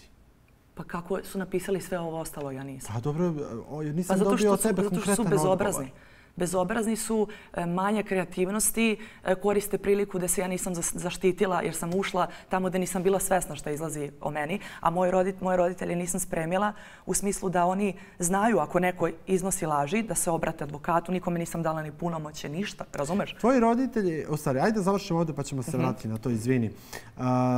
Sa Čedom, čvorkom ne govoriš? Ne. Ne. Zašto? Pa zato što on se bio nešto ovaj, naljutio na mene zato što taj početak moje karijere je bio jako komplikovan. U smislu, O sad ću da ti objasnim. pričaš? E, solo karijere. Dobro. Znači, krećem ja da zakazujem nastupe, to jest ne ja, nego menadžer moj. I, ovaj, I sada e, na event, kad, kad stranica kluba napravi event, e, nastup Ivane Krunić i napra, napišu tamo negde bivša članica grupe Luna ili ex Luna, ili tako da bi e, narodu objasnili. I sada ja sam stalno, znači, stalno pisala, ne smete to da kačite, nemoj to da kačeš. Znaš, što je takav dogovor, razumeš? E, I nekada se desi, znaš, ono da, da, da me on zove iznerviran, zašto su to okačili i tako dalje. Znaš. A zapravo e, nisam videla ništa loše u tome što ljudi napišu Ivana Krunić, bivša, bivša članica grupe Luna, da bi samo objasnili ko im dolazi u klub. Razumeš? Zato što sam ja sav taj period i sav taj moj trud i boravak u grupi trudila sam se, e, ali je bilo to uopšte zapravo ništa nije bilo da bi se popularizovalo moje, moje ime i prezime, nego sam Vi- bila ona crna iz grupe. Da, i vi a, zbog toga ne- ne govorite. To je razlog. Pa da mi smo se tad posvađali. I to je razlog što ne govorite. Pa ne znam da li ima još nešto, ali tada ja bukvalno nisam mogla više da, da trpim da on mene krivi za nešto zašto ja nisam kriva, stvarno. Ja sam e, i dan danas slučajno da vidim neko da je objavio ili pesmu od grupe ili da je napisao, ne, mislim sad ne pišu više sada, već sam uspela da popularizujem svoje ime i prezime, da me znaju kao Ivanu Krunić, oni koji me znaju, a ne kao Crna iz Lune. I onda sad nemam više problem s tim da napišu ex Lune i tako dalje, izborila sam se za to, ali nekad se desi zato što ljudi vezuju te pesme Duplo Škorpio Red Bull za moj lik i, ovaj, i za moj glas. Ljudi često češće me prepoznaju po glasu nego po, po liku i, ovaj, i onda, znaš, prosto nemam sad više problem sa tim, ali i dan danas se desi da ako slučajno to okače, ja odmah zovem Baneta i kažem mu zovi klub, neka sklone to ili ću da otkažem nastup i neću se pojaviti i to je to. Da Tako da, li- kada bi samo samo da je proveo e, vrijeme tu dok se sve to dešavalo i čuo koga ja zovem, šta sve, koliko se trudim da nikoga ne oštetim, e, bilo bi mu krivo što se toliko naljutio. Da li te, čeda, da. E, da li te Čeda Čvorak e, povredio? Pa razočarala sam se zato što mi je bio mnogo dobar prijatelj. Stvarno mi je bio mnogo dobar prijatelj. Bili smo A jesi povredila ti njega? Pa on kaže da jesam. Mislim, e, ne znam da sam ga povredila, ali verujem da, ovaj, da ljut na mene i nešto. Videla sam čak i neku emisiju, meni često ljudi pošalju isečke ako se pominjem negde i ni za što nije u pravu. Ali ogromno jedno nije u pravu za, za sve što je rekao dobro. Ajmo konkretno ovde. Može? Pa da sam ja nešto lagala unutar realitija, ja apsolutno nijednu lažnu reč nisam rekla, čak sam se borila ljudima da objasnim unutra, iako su me svi napali, ali zašto ne pevaš te pesme, zašto ne pevaš, da im objasnim da je to tako kako jeste. Naš. Samo sam ja bila iskreno malo prepadnuta od svih tih pitanja, jer sam se uplašila šta smijem da kažem, šta ne smijem unutar reality, ja sam ne znam šta se dešava na polju, naš, e, i onda kao u fazonu ispadnem, ispadnem ko neka zastrašena osoba, kao da sam ja zastrašena od njega, naš. Da li je istina da si krala pare od Čede Evo ti još jedna stvar. Baš sam skoro bila u emisiji da su me to pitali. Isto još jedna od stvari koja je laž i koja je izašla dok sam ja bila u realitiju i da ću opet reći uh, sram ih bilo za takve laži i nek na njihovu dušu ide. A sve se u životu vrati. Veruj mi, Stefane. A koga sram bilo? Novinare koji su to napisali. Kogoda je. Ja ne znam, nisam ni, veruj mi, Stefane, sada sam uzela i tragam svakoga. Ja nikoga zapravo nisam stavila na blacklist. Ja sam samo pokušala novinarima s kojima imam saradnju, a imam sa svi, većinom dobru saradnju, da dam do znanja. Sve me pitaj što te interesuje. Znači sve što je za moj život vezano, ja ću ti sve reći. Jedno neću ti možda druge komentarisati ili neću otkrivati nečije tajne. Neću, razumeš? Ali što se tiče mene, pitaj me, sve ću ti odgovoriti. Nemoj da izmišljaš ili da lažeš. Razumeš? Samo to tražim. I uvek ću se odazvati. Svaku emisiji izdvojit ću ceo dan, za emisiju, za intervju, za šta god da treba. Samo nemojte, ono, nekad kažem nemojte, ne mislim ti, novinari generalno, nemojte iznositi laži zarad nekog, jer ja uvek dam materijal. Ja stvarno uvek u svaku emisiju koju sam otišla, bukvalno si moglo koliko god hoćeš i tih eksplozivnih naslova i za taj, kako se zove, klik, eh, za klik, da imaš dosta tih Znaš, uvek su i gledani, imaju dosta klikova i stvarno i urednici i, novi, i voditelji, novinari mi kažu bravo, uspeli smo, oborili smo rekord ili tako dalje. Zašto? Zato što sam iskrena, daću ti sve što ti treba, samo molim vas, nemojte mi izmišljati laži. Zašto? Mene ne boli laž u smislu ako neko izmisli. Ja znam da to nije istina. Ali narod mnogo zaključuje na osnovu naslova. Mnogo se zaključuje. Oni njih mrzi da uđu da pročitaju, a kad pročitaju oni koji su iole pametni uđu i pročitaju, shvati da, da zapravo je ne izvučeno iz konteksta, nego većinu ja ništa nisam ni izjavila od toga. Ovdje ću da te, ovdje ću ti postavim još jedno konkretno pitanje da bih završili uh, sa tim pitanjem vezano za ovu temu. Uh -huh. uh, da li je istina si krala pare od Čede Čvorka? Ma naravno da ne. Pa, e, e, čekaj. Da li je istina da ti... si krala bakšiš? Prvo, mi nismo nikad imali bakšiš. Uh, Ovo te znači, pitam smo... na osnovu svih ne, tih neka, naslova. Neka, neka, pitaj me. Prvo, bakšiš nismo nikad radili mi da, da publika nama prilaze nam daje bakšiš. Drugo, pare nikad nisu stajale kod mene. Znači, ja sam imala svoj honorar da kad stignem u kući, če da mi da moj Koliko honorar i to je, to je to. Pa neću da pričam o tome. Bio je kako treba. Sve, meni to nije bilo ni bitno, veruj mi. Nisam tada, uh, nisam tada ja ulagala u posao. Ja sam ulagala, ok, za svoj styling, je, šminku i tako to.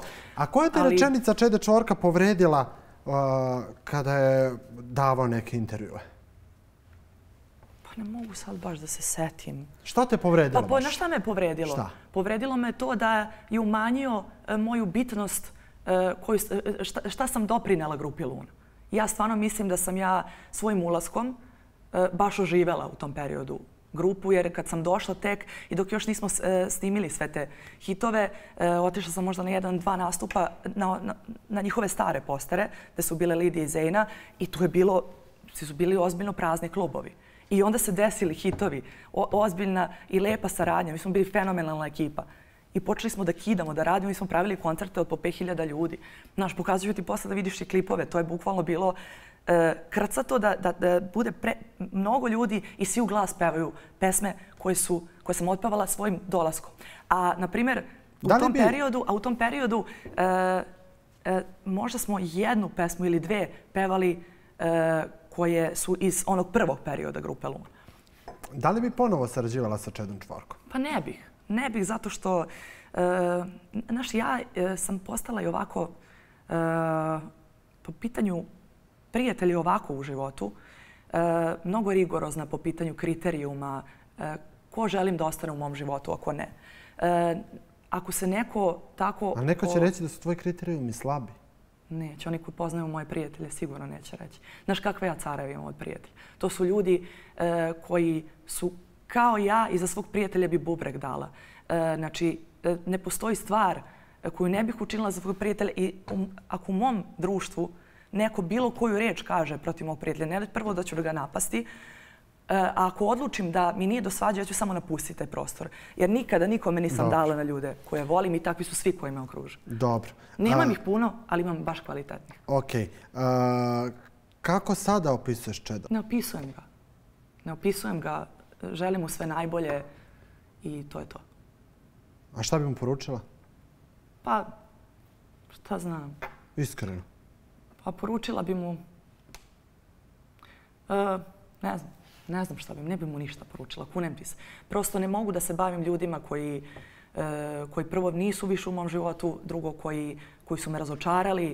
Uh, pa baš ono, šta bi poručila pa ljudima pa po... koji, koji su te razočarali u ovom slučaju baš ovaj, Ja bi im poručila da im opraštam sve. Da im opraštaš. Da. I jesi mu oprostila sve? Jesam, svima sam tebi? oprostila. Ne zanima me. Ne zanima Meni nema šta da se oprosti. Meni možda se, da, da mi se oprosti možda što sam napustila grupu, što sam išla za svojim snovima. Sve ostalo ne vidim, ne vidim razlog. Mislim da su mu neki ljudi mnogo više nanali zla u životu, a s njima je nastavio da se druži. A, e, Ko? ja sam mu bila, neću kažem, to je njegova stvar, a ja sam mu bila, e, ne samo ja, nego cijela moja porodica. Mi smo bili kao jedna porodica. Moji roditelji, moja porodica i njegova. To su, a komu je naneo zlo? Da sad sam ti odgovorila na pitanje. Pa nisi. Ja sam, rekla sam ti da neću da, da pominjem imena od uh, ljudi iz tuđih života. Znači, to je, što neka ne pozoveš lepo emisiju. On bi ti bio super sa, sa, sagovornik. Veruj mi. Ako ja uh, ti dam, na primjer, materijal, on bi ti tek dao materijal. Znači, mogu bi sve da ti objasni svoje tačke gledišta. Razumeš? Misliš da je za sve potrebno da se čuje dve strane? Uh, da? To je lepo, čuti obe strane, ali uključiti inteligenciju kada sudiš o tome ko je u pravu a u suštini... Mislim, ne treba suditi. Uh, pa ne Zašto treba, naravno. Bog sudi samo. Bog sudi. Ako donosiš zaključak, ajde tako da kažem.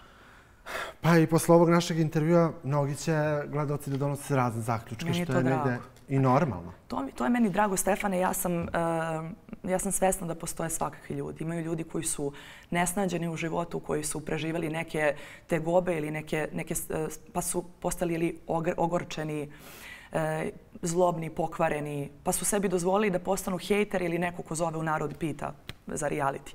Ovaj, e, to nikad ne bi sebi dozvolila da, da toliko dopustim da me ošteti život da postanem hejter. Da postanem neko ko će svoje vreme odvojiti da ode na YouTube i da napiše nekome ružan komentar.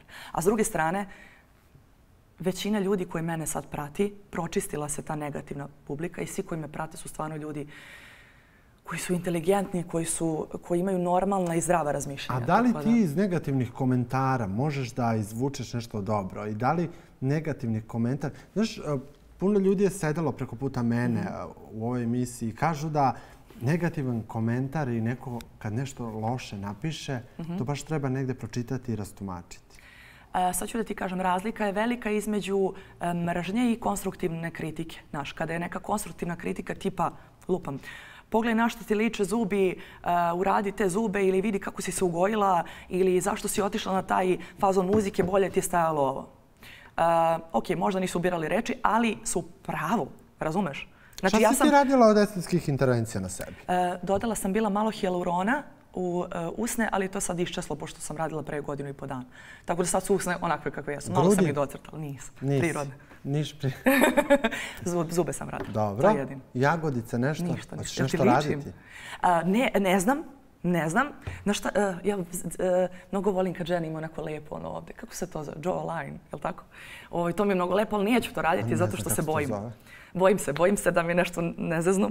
Ovaj, ali pa sigurno da ću... Da ti zeznu 21. vek, mislim, medicina napredovala jako. Možda se popravi, pa znam. Ali možda ću tako kad malo više počnem da, da starim Aha. pa da uradim i botoksić neki, što da ne. Da. Ja mislim da treba od svega što postoji, što e, ljudi su izu, izumeli, izumeli, jesam dobro rekla, jesam, ovaj, da se iskoristi. Uh mhm. -huh. Ne volim da budemo kao po svaku cenu staromodna, tradicionalna. Uh, da li je tvoj ulazak u reality uh, greška? Ima dva pogleda na to. Odgovorit ću ti prvi, e, jeste greška u smislu karijerno, e, mi u tom trenutku izlaska mi je totalno zeznulo karijeru. Znači, baš me, izvinite na izradu, bipujte se. E, I onda sam morala da radim, radim, radim mnogo da bi danas radila tako kako radim. Da li je istina da su se tvoji roditelji, u stvari, da li je istina da su se tvoji roditelji stideli zato što si ti u reality? Mene? A, Tvog ulaska u reality? Ne, nisu bili za to. Ne, Bože, sačuvaj, mene nikad se ne bi stideli. Oni su ponosni na mene. I to mi je tata rekao da e, kad me video kroz ove muke koje sam prešla tamo, prošla tamo, tek je sad shvatio kakvo dete ima. Znaš, najteže u takvim situacijama biti normalan i okej okay, i da ti ne dođe ta tamna i zla strana koju možda svi imamo u sebi, samo zavisi da nam život, život, da nam život to aktivira. Ali ovaj, oni svakako nisu bili za to. Tvoja majka je plakala. Dosta patila zato što si ti unutra. Ne, možda veriš koliko. Dok, kad sam se pripremao za mhm. emisiju i, i, i negde kažu ovako, njena majka je jedna predivna dama i njena mama njoj ne može da oprosti njen ulazak. Moja mama je predivna žena, najdivnija. Ako neko ima uh, ulogu da, da je stvoren da bude majka, to je moja mama. Znači, to je naj, naj, za tu, Bog je stvorio, e, ova žena će biti majka najdivnija na svetu. A što se tiče uh, njene patnje, ona je bila užasnuta tom mojim odlukom. Je li ste da su bili tvoji roditelji na lekovima dok si bila? Ne, ne, to je ozbiljna laž. I, uh, to Ali je... to si ti izgovorila? Jeste, zato što su mi rekli to u reality. Meni je to, kako se zove, David. David mi je rekao to za crnim stolom i ja sam tada doživjela bukvalno nervni slom. E, nisam mogla da verujem. Prvo, moji roditelji uopšte nisu u tom fazonu. Znači, e, u mojoj porodici se nikad nisu pili lekovi za smirenje i to. Kad si bila u realitiju, publika i tvoja porodica konkretno, ovdje opet pričamo o tvojim mhm. roditeljima, oni se nisu pojavljivali nikada u medijima. Nisu, nisu. I sad, to je možda i dobro, možda i nije konkretno za tebe što se tiče... Ne, za mene bi bilo super da se oni pojave. Jer onda, znaš, ono, ljudi bi shvatili zašto sam e, ja ovako... Zašto kakva jesi. Tako je, vidjeli bi kakvi su moji, kakvi su moji roditelji, ali za njih ne bi bilo dobro. Jer oni ne bi nikako podneli ovaj pritisak. Mhm. A, zanima me konkretno, ovaj, si svesna šta si sve izgovorila u realitiju? Da. Bilo A na što misliš? Tačno? Dobro, bilo je nekih ružnih scena, ružnih reči. Koliko nije? Razumeš, mislim, šta me pitaš zašto, znaš I, sam. Ne, mislila sam imaš nešto konkretno da sam izgovorila, pošto si se nadovezao na roditelje. A imam, ali neću pričati. Ne mislim da si konkretno gađala na roditelje. Mm -hmm. Pričam kroz razgovor, kroz mm -hmm. uh, svađe, kroz tvoje, uh, tvoje vrištanje, kroz plač, ponašanje konkretno. Mm -hmm. E, uh, ti to zamjerili roditelji? Kako da mi zamere kada su to bile moje reakcije. To, nisa, to su moje reakcije na toksično, toksično okruženje. E, znaš, kada, kada više ne možeš nigde da pobegneš. Hoćeš da mi kažeš da su mama i tata rekli nema veze što si onako plakala, nema veze što si se onako kidala, ne, oni su nema se kidali veze što kući si zbog mene što, kroz šta sam sve prolazila. Kako Ali nisam ja moje reakcije. Kako su se kidali? Na koji način? Pa mama je plakala tata je odlazio uveče da, da spava zašto nije mogu da gleda, ali nije mogu da gleda ne moje izjave i ne moje ponašanje prema drugim ljudima, nego e, to šta su meni ljudi bili spremni unutra da rade, da izgovore i naravno kada ja sam u svemu unutra bila iskrena. Nisam Jesu se kočila. Jesu mogli da gledaju baneta sa tobom? Šta kažeš? Kaže mi, su unutra mogli da gledaju? Nisu. Unutra nisu. Unutra, Zašto? Uh, e pa, Zašto tvoji, tvoji roditelji nisu mogli da gledaju Banet? Evo sad ću da ti objasnim. Prvo, uh, Banetova istorija kroz reality je ozbiljno bez, bezvezna. Znači, on se mnogo i blamirao i izgovarao svakakve stvari i uh, ok, da tu stavimo tačku. S druge strane, ja koja sam živela unutar kuće sa Banetom, e, sam videla neku drugu stranu. I sad moram da ti kažem jednu stvar e, koju ozbiljno, koju ozbiljno niko nije svestan. Znači ti e, za e, ta televizija ima svoj glavni kanal i imaš njihove streamove koje redko ko ima. Na streamovima su bile prikazivane i naše lepe stvari i kad smo većinski što smo bili, lepo se družili s ljudima, igrali se po ceo dan, spremali, kuvali, smejali se, pevali i tako dalje, voleli se, grlili se, ljubili se. A ček, na, na glavnom, samo sekund da, ti, da me ne prekineš samo ovde, jako ću brzo završiti. Ajde, ali, ali mi bežiš od odgovora. Na glavnom kanalu je bila preka, prikazana samo naša svađa. I na kraju su svi zaključili, ok, ovo je užasno toksičan odnos. Znači, da li je tvoj odgovor na moje pitanje zašto su tvoji roditelji, zašto tvoji roditelji nisu voljeli da gledaju Baneta pored tebe, da li je tvoj odgovor uh, njegova reality istorija? Uh, ne, ne, ne, nije samo to. Uh, to je reality, reality istorija im je stvorila predrasude. predrasude. Uh mhm. -huh. A to zbog čega oni nisu želeli, to je zbog uh, svih naših svađa naših ponašanja, njegovog ponašanja prema meni u startu dok je mislio da se ja igram sa njim. Ti si muvala njega? Ja sam, da. Pa je onda ušla njegova devojka, to jest nazovi, to je sve bilo iscenirano i tako dalje. U svakom slučaju, uh, on je mislio da sam ja još jedan kao drugi reality igrač i da sam s njim izezam. Da li zbog uh, tvog uh, bitisanja u realitiju i, i uh, tvoj, tvojih izlaganja i svega toga, da li si nekada po izlasku sebi rekla, ovo ti pitam najiskrenije, mm -hmm. da li si nekada, kad si sedala sama, pila kafu, da li si rekla, sram te bilo, možda si obrukala porodicu? Ne, ne, nikako. Ni, ni sa čim ja nisam obrukala svoju porodicu. E, ja sam imala, e, ja sam svoju porodicu dovela u težak trenutak. Ali, ali ti žao zbog ali, toga? Pa nije mi žao. E, kako Stefan, žao mi je zbog Kako što su se patili. Žao mi je što su se patili moji roditelji. Ali ni mi je žao zbog mojih životnih izbora. Što si ti rekla sestre kad si izašla? Ma, one su došle i zagrlile me. Zato A što, što si rekla ja... roditelji prvi put kad si izašla? Pa zagrlili su mi isto.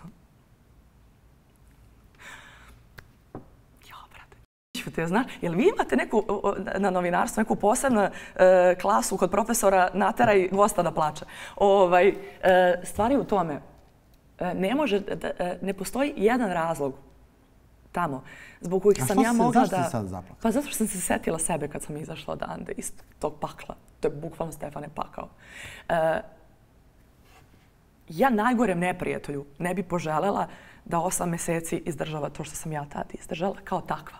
Da li si ti priredila jedan loš period svojim roditeljima? Ja sam i, i, da li se kaješ zbog toga? Naravno da se kajem, ali se ne kajem zbog svojih životnih odluka jer sam samo na pošten ne, način ne, ne, išla ka svojim snovima. Ne, čekaj, čekaj, čekaj. Uh, ne, jedno su životne odluke. Ja te pitam da li se kaješ zbog uh, nekih stvari koje si priredila svojim roditeljima? Žao mi je što sam ušla u reality. Žao mi je što su morali da me gledaju kako patim. Zbog toga mi je žao. Da mogu da vratim sad vreme, Stefano, jer me to pitaš, ne bi ušla. Ne bih ušla u reality. Ne bih nikako. Ne bih sebi dopustila opet takvu patnju. Ali opet, s druge strane, ja ne mogu da vratim vreme. Meni je, ja verujem u tu sudbinu, meni je bilo zacrtano da ja uđem tamo. Sve, sve, ta, sve tačke mog života pre ulaska da bi ja donala odluku da uđem. Ali da nisi ušla, ne bi upoznala... Baneta, tako je. Sad sam to htjela ti kažem. partnera. Ja sam najsrećnija danas u životu zato što sam ponela celu tu životu. Da li si rekla roditeljima da, da li si, da li si rekla to čuveno izvini roditeljima? To kako nisam. Izvinite što ste morali kroz sve ovo da prolazite. Izvinite što uh, sam išla tim putem da je teško da gledate svoje dete u takvim, takvim izdanjima. Ja i dan danas na sve moguće načine pokušam da njih zalečim. I oni su sad kako treba. Stvarno su kako treba. I mnogo sam lepim i dobrim odnosima sa, sa svojom porodicom. I mnogo vole mog baneta. Oni su ga sad upoznali na polju kakav on stvarno jeste čovjek. I veruj mi, svaka osoba koja ga je upoznala bila u fazonu, a u brate, kako je moguće si ti tamo ovakav, a na polju takav. Ali sve ti u životu od uh, životnih okolnosti, od ljudi koji te okružuju. Znaš, kakva ti je žena, takav ti je život, tako glavno kažu. Ti si se smuvala sa Banetom u realitiju. Je li tako? Je. Tvoji roditelji nisu bili za Baneta. Nisu. I opet pitam konkretno, hoćeš da mi kažeš konkretan razlog zašto? Pa zbog toga nisu vidjeli da... Nije, nije im se svidio njegov uticaj na mene unutar reality. Okay. Njegovo ponašanje prema meni. Ok. A, 2022. godine te zaprosio. Jel imaš burmu? Imam venečki prst. Venečki prst. Slušaj da burmu, venečki prst. Imam još burmu. Da. Biće do godine. Dobro. A, ajmo malo da, da ovaj, govorimo o toj temi. Ajde malo da, da pričamo o toj temi. Vi ste skoro pet godina u ljubavnoj vezi. Tako je. Je li tako? Tako je. Pet lepih godina. Prelepih. E, dobro, nije baš početak bio lep. Zato što računamo i taj početak u reality. Ajde, to mi je šlagvort nekako ovaj, da, da te pitam. E, po izlasku iz realitija, Bane i ti krijete ljubavnu vezu i od tvojih roditelja i od njegovih. Tako je. Je li to teško? To, je, e, to mi je bilo najteži period Znaš, kada s jedne strane e, nekoga si ozbiljno zavolio, iako smo lagali sebe. Onaj, naš pa posljednji deo realitija kada smo se mi svađali, kada sam ja njega ostavila i preko telefona i tako dalje, zbog nekih stvari koje su nekih utica i laže koje sam dobila i informacije i tako dalje i nekako i utica i porodici svega. I onda kad smo izašli, e, ne vredi kog, što Bog spoji, niko ne može da razvoji. A su ti rekli roditelji ne možeš da budeš sa njim? Ne, nego su bili, samo su me savjetovali da Ni otac ni majka ti je rekla, nije, znači nijedno ti nije rekla... Pa ne može meni neko kaže ne možeš. Mogu da mi kažu Ivana, to nije za tebe dobro. Ivana, e, naš, e, sutra sa takvim čovekom će biti tako Dobro, i tako. Ti si punoletna sama, donosiš odluke i... punoletno, 30 godina. Izvinite, Bože. Da, Jel ima, ali, vi imate one bipove, sve to, radit će bip u ovoj emisiji i tekako.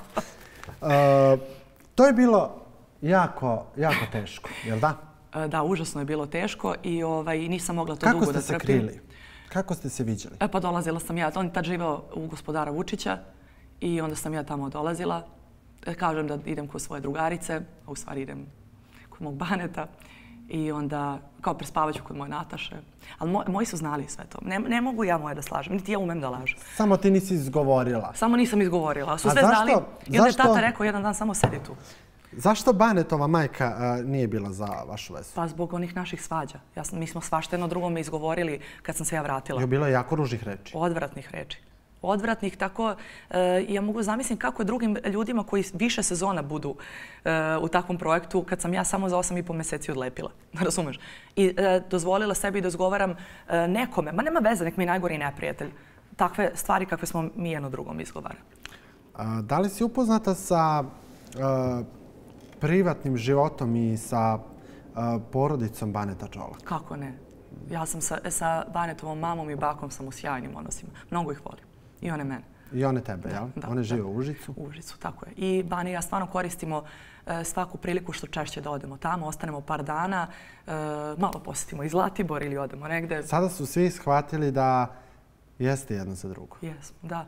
Pa šta da ti kažem, e, ne, misliš da bi e, moji roditelji mene lagali? Ne bi. Oni su uvek što na um to na drum, ali prosto vide da je sve kako treba i, ovaj, i ne, ne desi se nikada da, da krenem od kuće da mi tata kaže pozdravi mog baneta. To je da mi ne kaže pozdravi mog Da, Ivana, uh, upoznala si Banetovu mamu, ali Mhm. Banetovog tatu nisi. Nisam nikada. Zašto? Pa zato što oni nisu u kontaktu. E, mislim, ovaj, to bi vjerojatno Bane mogo mnogo, mnogo bolje da ti, da ti ispriča, ali uh, meni ono što je, što je, is- što je ispričao, uh, meni je Kako jako meni krivo ono? zbog toga. Ja verujem da je on tebi ispričao sve. Pa naravno da, da, da većinu jeste, sad naravno da nije u neke detalje, što je to za njega mnogo bolna tema i onda verujem da preskoči mnoge stvari jer ne verujem da, da to Ne što je želi da ih, stalo se, da ih podgrejava i da se seća. Pa da, mislim, njemu je to mnogo bolna tema. Naša, A zašto, on, zašto Bane ne govori sa tatom? Pa nisu, da, taj čovek nije prema njemu bio kako treba i... Šta znači to, Ivana? Pa nije, nije bio, nije na pravi način odigrao očisku ulogu. Da, da ne kažem da, hm, bar ono što sam ja čula i prisustovala, tako se ne biva otac. Čemu si prisustvovala?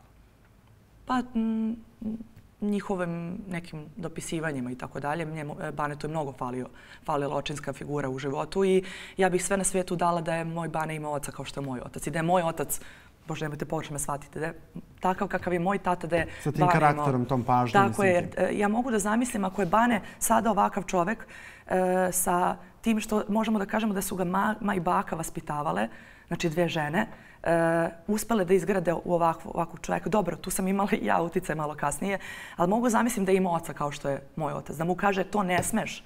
Znaš, ne smeš takvu odluku, da, znači, ne smeš da, da, da uradiš to i to u realitiju. To se, ta, tako muškarac ne treba da, da kaže, razumeš? Nije imao očinsku figuru da ga posavetuje za te takve neke stvari. Koji je to trenutak, koja je to rečenica i razgovor kada Bane se dopisuje, razgovara sa svojim tatom, Ja znam, nešto su a da pokušali si da... ti rekla da si, da si se ti skrozila, da ti nisi mogla da veruješ. Pa To je, da, da, da, to je baš jedan trenutak. Ja stvarno e, obećala sam Banetu, e, ako evo mogu da probam da ga nagovorim za tebe, da proba da, da ti dođe, da ti uradi, da uradiš intervju, e, ali to baš što sam ja videla u poru, poruci, to je bilo baš katastrofa, to je bio neki pokušaj pomirenja e, gde na kraju... Šta kaže otac sin u tom trenutku? To mi reci mi konkretno. Pa nek ti on kaže. Meni je to, meni je to samo ću tu da, da ti stavim tačku izvini, ali ne mogu da ispadnem nečovek i da se mešam u tuđe, u tuđe stvari, pogotovo ako me moj, moja najvoljenija osoba na svetu zamoli da o tome ne pričam, ja sigurno da ga neću izdati. Da li Bane voli svog oca? Pa ne znam. Mm, ne znam da li ga voli. Ne, ne znam čime bi zaslužio. A da li Banetov otac voli Baneta? E, mislim da, da, da se tako ljubav ne pokazuje. Da, da ima ljud, ljubavi, ne bi se to tako radilo. Mislim, ne znam, možda neki ljudi drugačije vole, ali ja kad nekoga volim, ja ću sve da sve da uradim ne da bi došla do, do, do te osobe, da bi, za, pogotovo za svoje dete, pa ne, ne, ništa mi ne bi stalo na put. Pogotovo za, da li je nekada Bane plakao ispred tebe zbog situacije? Mislim, zbog kako nije? konkretne kako situacije. Nije? Pa zbog svega toga, znaš, prosto kada, kada pričamo, kad ja, na primjer, Bane tu ispričam neke stvari, kad sam e, imala e, mnogo prilika da sednem, da popričam sa mojim tatom, da me tata posavetuje, e, ili kada vidi mene i tatu kad pričamo, kad me, e, kad me ćalo usmerava i sve to on nikad nije imao u životu. I onda se, znaš, milion puta mi je rekao Ico šta bi ja dao da, da, im, da sam imao tatu kao. Da li je Bane pošao nekim lošim putem zato što nije imao očinsku figuru i zato što ispred sebe nije imao sliku pravi porodice? Pa možda je u jednom trenutku baš uh, otišao tim, tom stramputicom, uh, mislim, znate na šta mislim sve, uh, baš zbog toga što je falila. Fali da, da, da tu da bude Je li istina da je Bane koristio nedozvoljene substancije? Ne, Bože sačuvaj. Pa ne bi bila s njim da je to tako. Nikada da jedne stvari uh, kojih se ja grozim, mislim grozim, neka svako radi šta god želi, ali nikad ne bi bila sa krivicem, sa k***om, sa lopovom, sa k***om. E, u, u, u suštini, svaki porok ništa dobro ne donosi. Sutra kada budete pravili svadbu i na svadbi bude, budu tvoji roditelji, Dobro. da li ćete pozvati Banetovog tatu na svadbu? Ja bih najviše, možda sam, meni stalno svi govore, a ti uh, oni pacifista, ali tako zove oni koji su za, za mir i tako dalje. Ja bih najviše volila se svi vole, se svi pomire i najviše na svetu bih volila da Bane reši... To smo shvatili od samog početka. Reši svoj odnos. Mm -hmm. Mislim, to o čemu sad govoriš. A da li ćete ga pozvati ja, ili nećete? Ja ću sve da, da pokušam i potruditi se da, da sve što u mojoj moći uradim, da ako je moguće... Jel da želi se... Bane da vidi oca? Pa normalno da, da s jedne strane bi mnogo, mnogo želeo.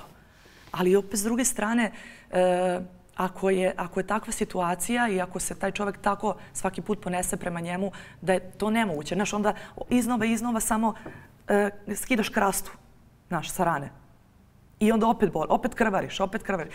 I on ne želi više da krvari. Znaš, on je sada srećan, zadovoljan I, ali ja bih iskreno voljela da, da se nešto desi, neka magija. I, Ivana, da, ovdje ćete da, pitati da, da još... ipak, ono što si me prvo pitao, da li bi voljela da on bude na našoj svadbi, naravno da bih voljela da Banetov otac bude tu. I naravno bih voljela i da razreše sve i da budu dobri. Voljela bi da, da ništa od toga što se dešavalo nije bilo. Nego da se Bane je osjetio mržnju od strane svog oca. Mržnju, ne znam. Za, mislim, ne bi to tako, ne, ne mogu ja to da kažem. To moraš njega pitaš. Ali ljubav definitivno nije dobio. Pa ne znam, meni to ne liči na ljubav, iskreno. Ne znam. Zato što ja imam kriterijum, Stefane. Meni kriterijum za pravu ljubav su moji otac i majka. Sve što odudara od toga i što je manje od toga, meni to nenormalno.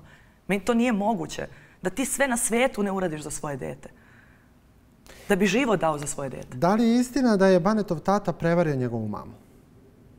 A, ne mogu da pričam o tome, Stefane. Ne mogu da... da, da E, ovaj, ne, molim te, pitaj, pitaj Baneta, ja stvarno želim tebe da ispoštujem za svaku, svaku pitanje i trudim se da ti, da, baš se trudim da te ispoštujem, jer si se mnogo dobro pripremio i sve, ali prosto, e, ako sad budem počela pričam o ovome, znam da ću da izađem tamo i ja pljunem sebe u facu. Razumeš? Neću da budem nečovek, neću da budem kreten. E, evo, ja, ću, ja sam ti rekla, pokušat ću da ga ubedim i mislim da bi bilo jako lepo da ti on dođe, jer on bi on je mnogo više proživeo u životu od mene. Znači, to bi, taj materijal koji bi mogao da imaš, šta bi on sve mogao da ti ispriča, to je... Svaki čovjek na ovom svetu Tako je. ima neku svoju priču. Tako je. I idemo sad, ova emisija i varira i turbulentna i sa lepih i ružnih i suze i smeha i svega. Prvi sa Banetom. Napolju. Napolju prvo viđanje. E, tad sam znala da je čovjek mog života. Čekaj, gde se desio prvi odnos? E, e, normalno kod, kod njega u stanu. Kod njega u stanu. I tad si shvatila Šali, mislim, meni je to jako bitno, iskreno. ja volim da, da govorim otvoreno na sve teme. Meni je uh, moment sa jako bitna stvar i ako to nije dobro, uh, onda će to da utiče na sve ostalo. Tako da, jel čim sam ja to, pet godina s njim... Jel tebi to broj jedan? Ne. Nije, ne, dobro, to mi je bitno. Ali Nikako. ti je bitan moment. Bitan mi je moment e, i... Čekaj, da li je sad istina da si ti... Šta je? Ništa. Da li je istina da si ti zaista ta vatrena crnka u crvenom donjem vešu? Ja sam vam... Uh... I da li je istina da si ti mnogo bezobraznija od Baneta? Ili kada se spuste zaista roletne, to bude drugačije? To zna samo moj partner. Pa da, ali ovog trenutka ćemo da saznamo svi. Nećemo. ja mogu samo da ti kažem Ajde. da kad nekoga volim, volim, volim Ma, Ivana, da svakim atomom moje snage. Tvoj, tvoji neki diplomatski odgovori su super. I to je super sam. kod nekoga, možda to prođe fino i lepo, ali kod a, a, mene... Pustite hlađenje! kod mene ovaj, to ne prolazi. Dobro. A, jesi dominantnija u, u, tim, u tom činu od Baneta ili ne? Ne. Nisi? Sve ja sam dominantna kad želim. Mm Pa ne, ne možeš svaki put da budeš isto raspoložen, zar ne? Možda sam to veče, na primjer, jedno veče sam gledala neku, uh, neku komediju ili ljubavni film, pa sam nežna. Jedno veče sam možda gledala... Uh, A si bila divlja? Možda sam, možda sam gledala, kako se zove film? Uh, Nijansi sive. Uh... sam drugačije raspoložena. Čekaj, jesi bila nekad uh, divlja u tom činu? Pa zašto bi ti ja to pričala? E, moj partner, pa dobro, ja znači da bi neko saznao takve stvari, on mora biti moj partner. I to mora se zasluži. Znaš ti koliko se mučio Bane da bi saznao sve te stvari? I kao i svaki moj partner. Mučio se? Jeste. Mm -hmm. Pa dobro, hoćeš mi odgovoriš na ovo pitanje? Pa neću. Nećeš? Možda ako se jednog dana razvedem pa se udam za tebe, e, onda, ću, onda ćeš da otkriješ fizički.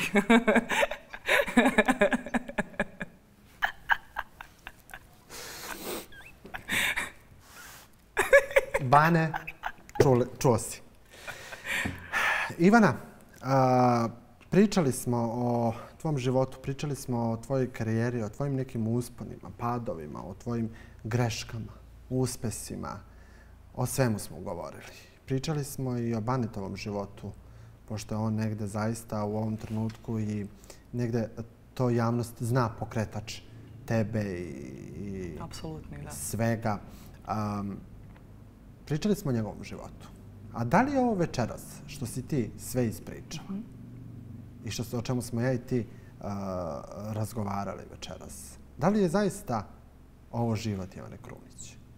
A, ne, to je samo ono što, što je dospelo do vas. A moj život je mnogo lepši od svega toga. Uh, moj život uh, je tako po nečijem mišljenju jako dosadan, a po mišljenju e, mene i ljudi koji su mi baš bliski, jedan miran, e, kreativan. E, ba, ja sam inače jako srećna osoba. A po ovome o čemu smo pričali sada, ko bi rekao za tu osobu da je srećna? Zar ne? Kroz šta sam sve e, prošla, šta su ljudi sve pokušali da, da mi urade? Znaš, neko bi rekao je ova bi zastranila. Po sve, dobro, možda malo preterujem, imaju mnogo teže životne priče. Ali e, svako individualno doživljava sve. Možda sam ja malo slabija od nekih ljudi, pa je ovo, pa mi je Bog dao ovaj teret, ovoliki koliki sam mogla da podnesem. Ali mogu samo da ti kažem da sve ovo što si izrekao je deo mog života, nešto je bilo laž, nešto je istina, e, ali e, sve sam to morala da prođem da bih danas imala ovo što, što imam. Ivana, da li želiš da kažeš još nešto da te nisam pitao? E, pa eto, htjela bih da kažem da e, da te pohvalim i da kažem da mnogi novinari treba da se ugledaju u tvoju i profesionalnost. Ne, ne svi, ali dosta njih. I svaka ti čast i uh, iskopo si stvari da sam ja mislila da nikada medije neće, niti znati takve informacije. Toliko u detalje si išao i ovaj, baš mi je bilo zabavno, iako na trenutke eh, si me podsjetio na neke traume i nije mi bilo prijatno, što se vjerojatno će ljudi moći da, da zapaze po meni, ali sve to moj život i volim da pričam o svemu i e, ako sam već kao otvorena knjiga prema svojoj publici i ako im već prezentujem kroz svoje pesme emociju, onda moraju da me vide u svakoj od tih emocija. Pa makar i kad sam bila na dnu i evo sad kad se borim malo da idem na više i možda jednog dana kad bude ostvaren možda neki moj san, ali u svakom slučaju i da se ne ostvari taj neki zacrtani karijerni san, bitno mi je ovo sad što imam. Naš. Ivana, hvala ti što si bila gost u mojoj emisiji. Hvala ti što si večera sedela preko puta mene. Hvala i tebi, Stefane, na svemu. Poštovani gledalci, hvala i vama što ste bili uz emisiju Pretres i čuli priču Ivane Krunić. Hvala Divna Vodi na prijateljstvu emisije.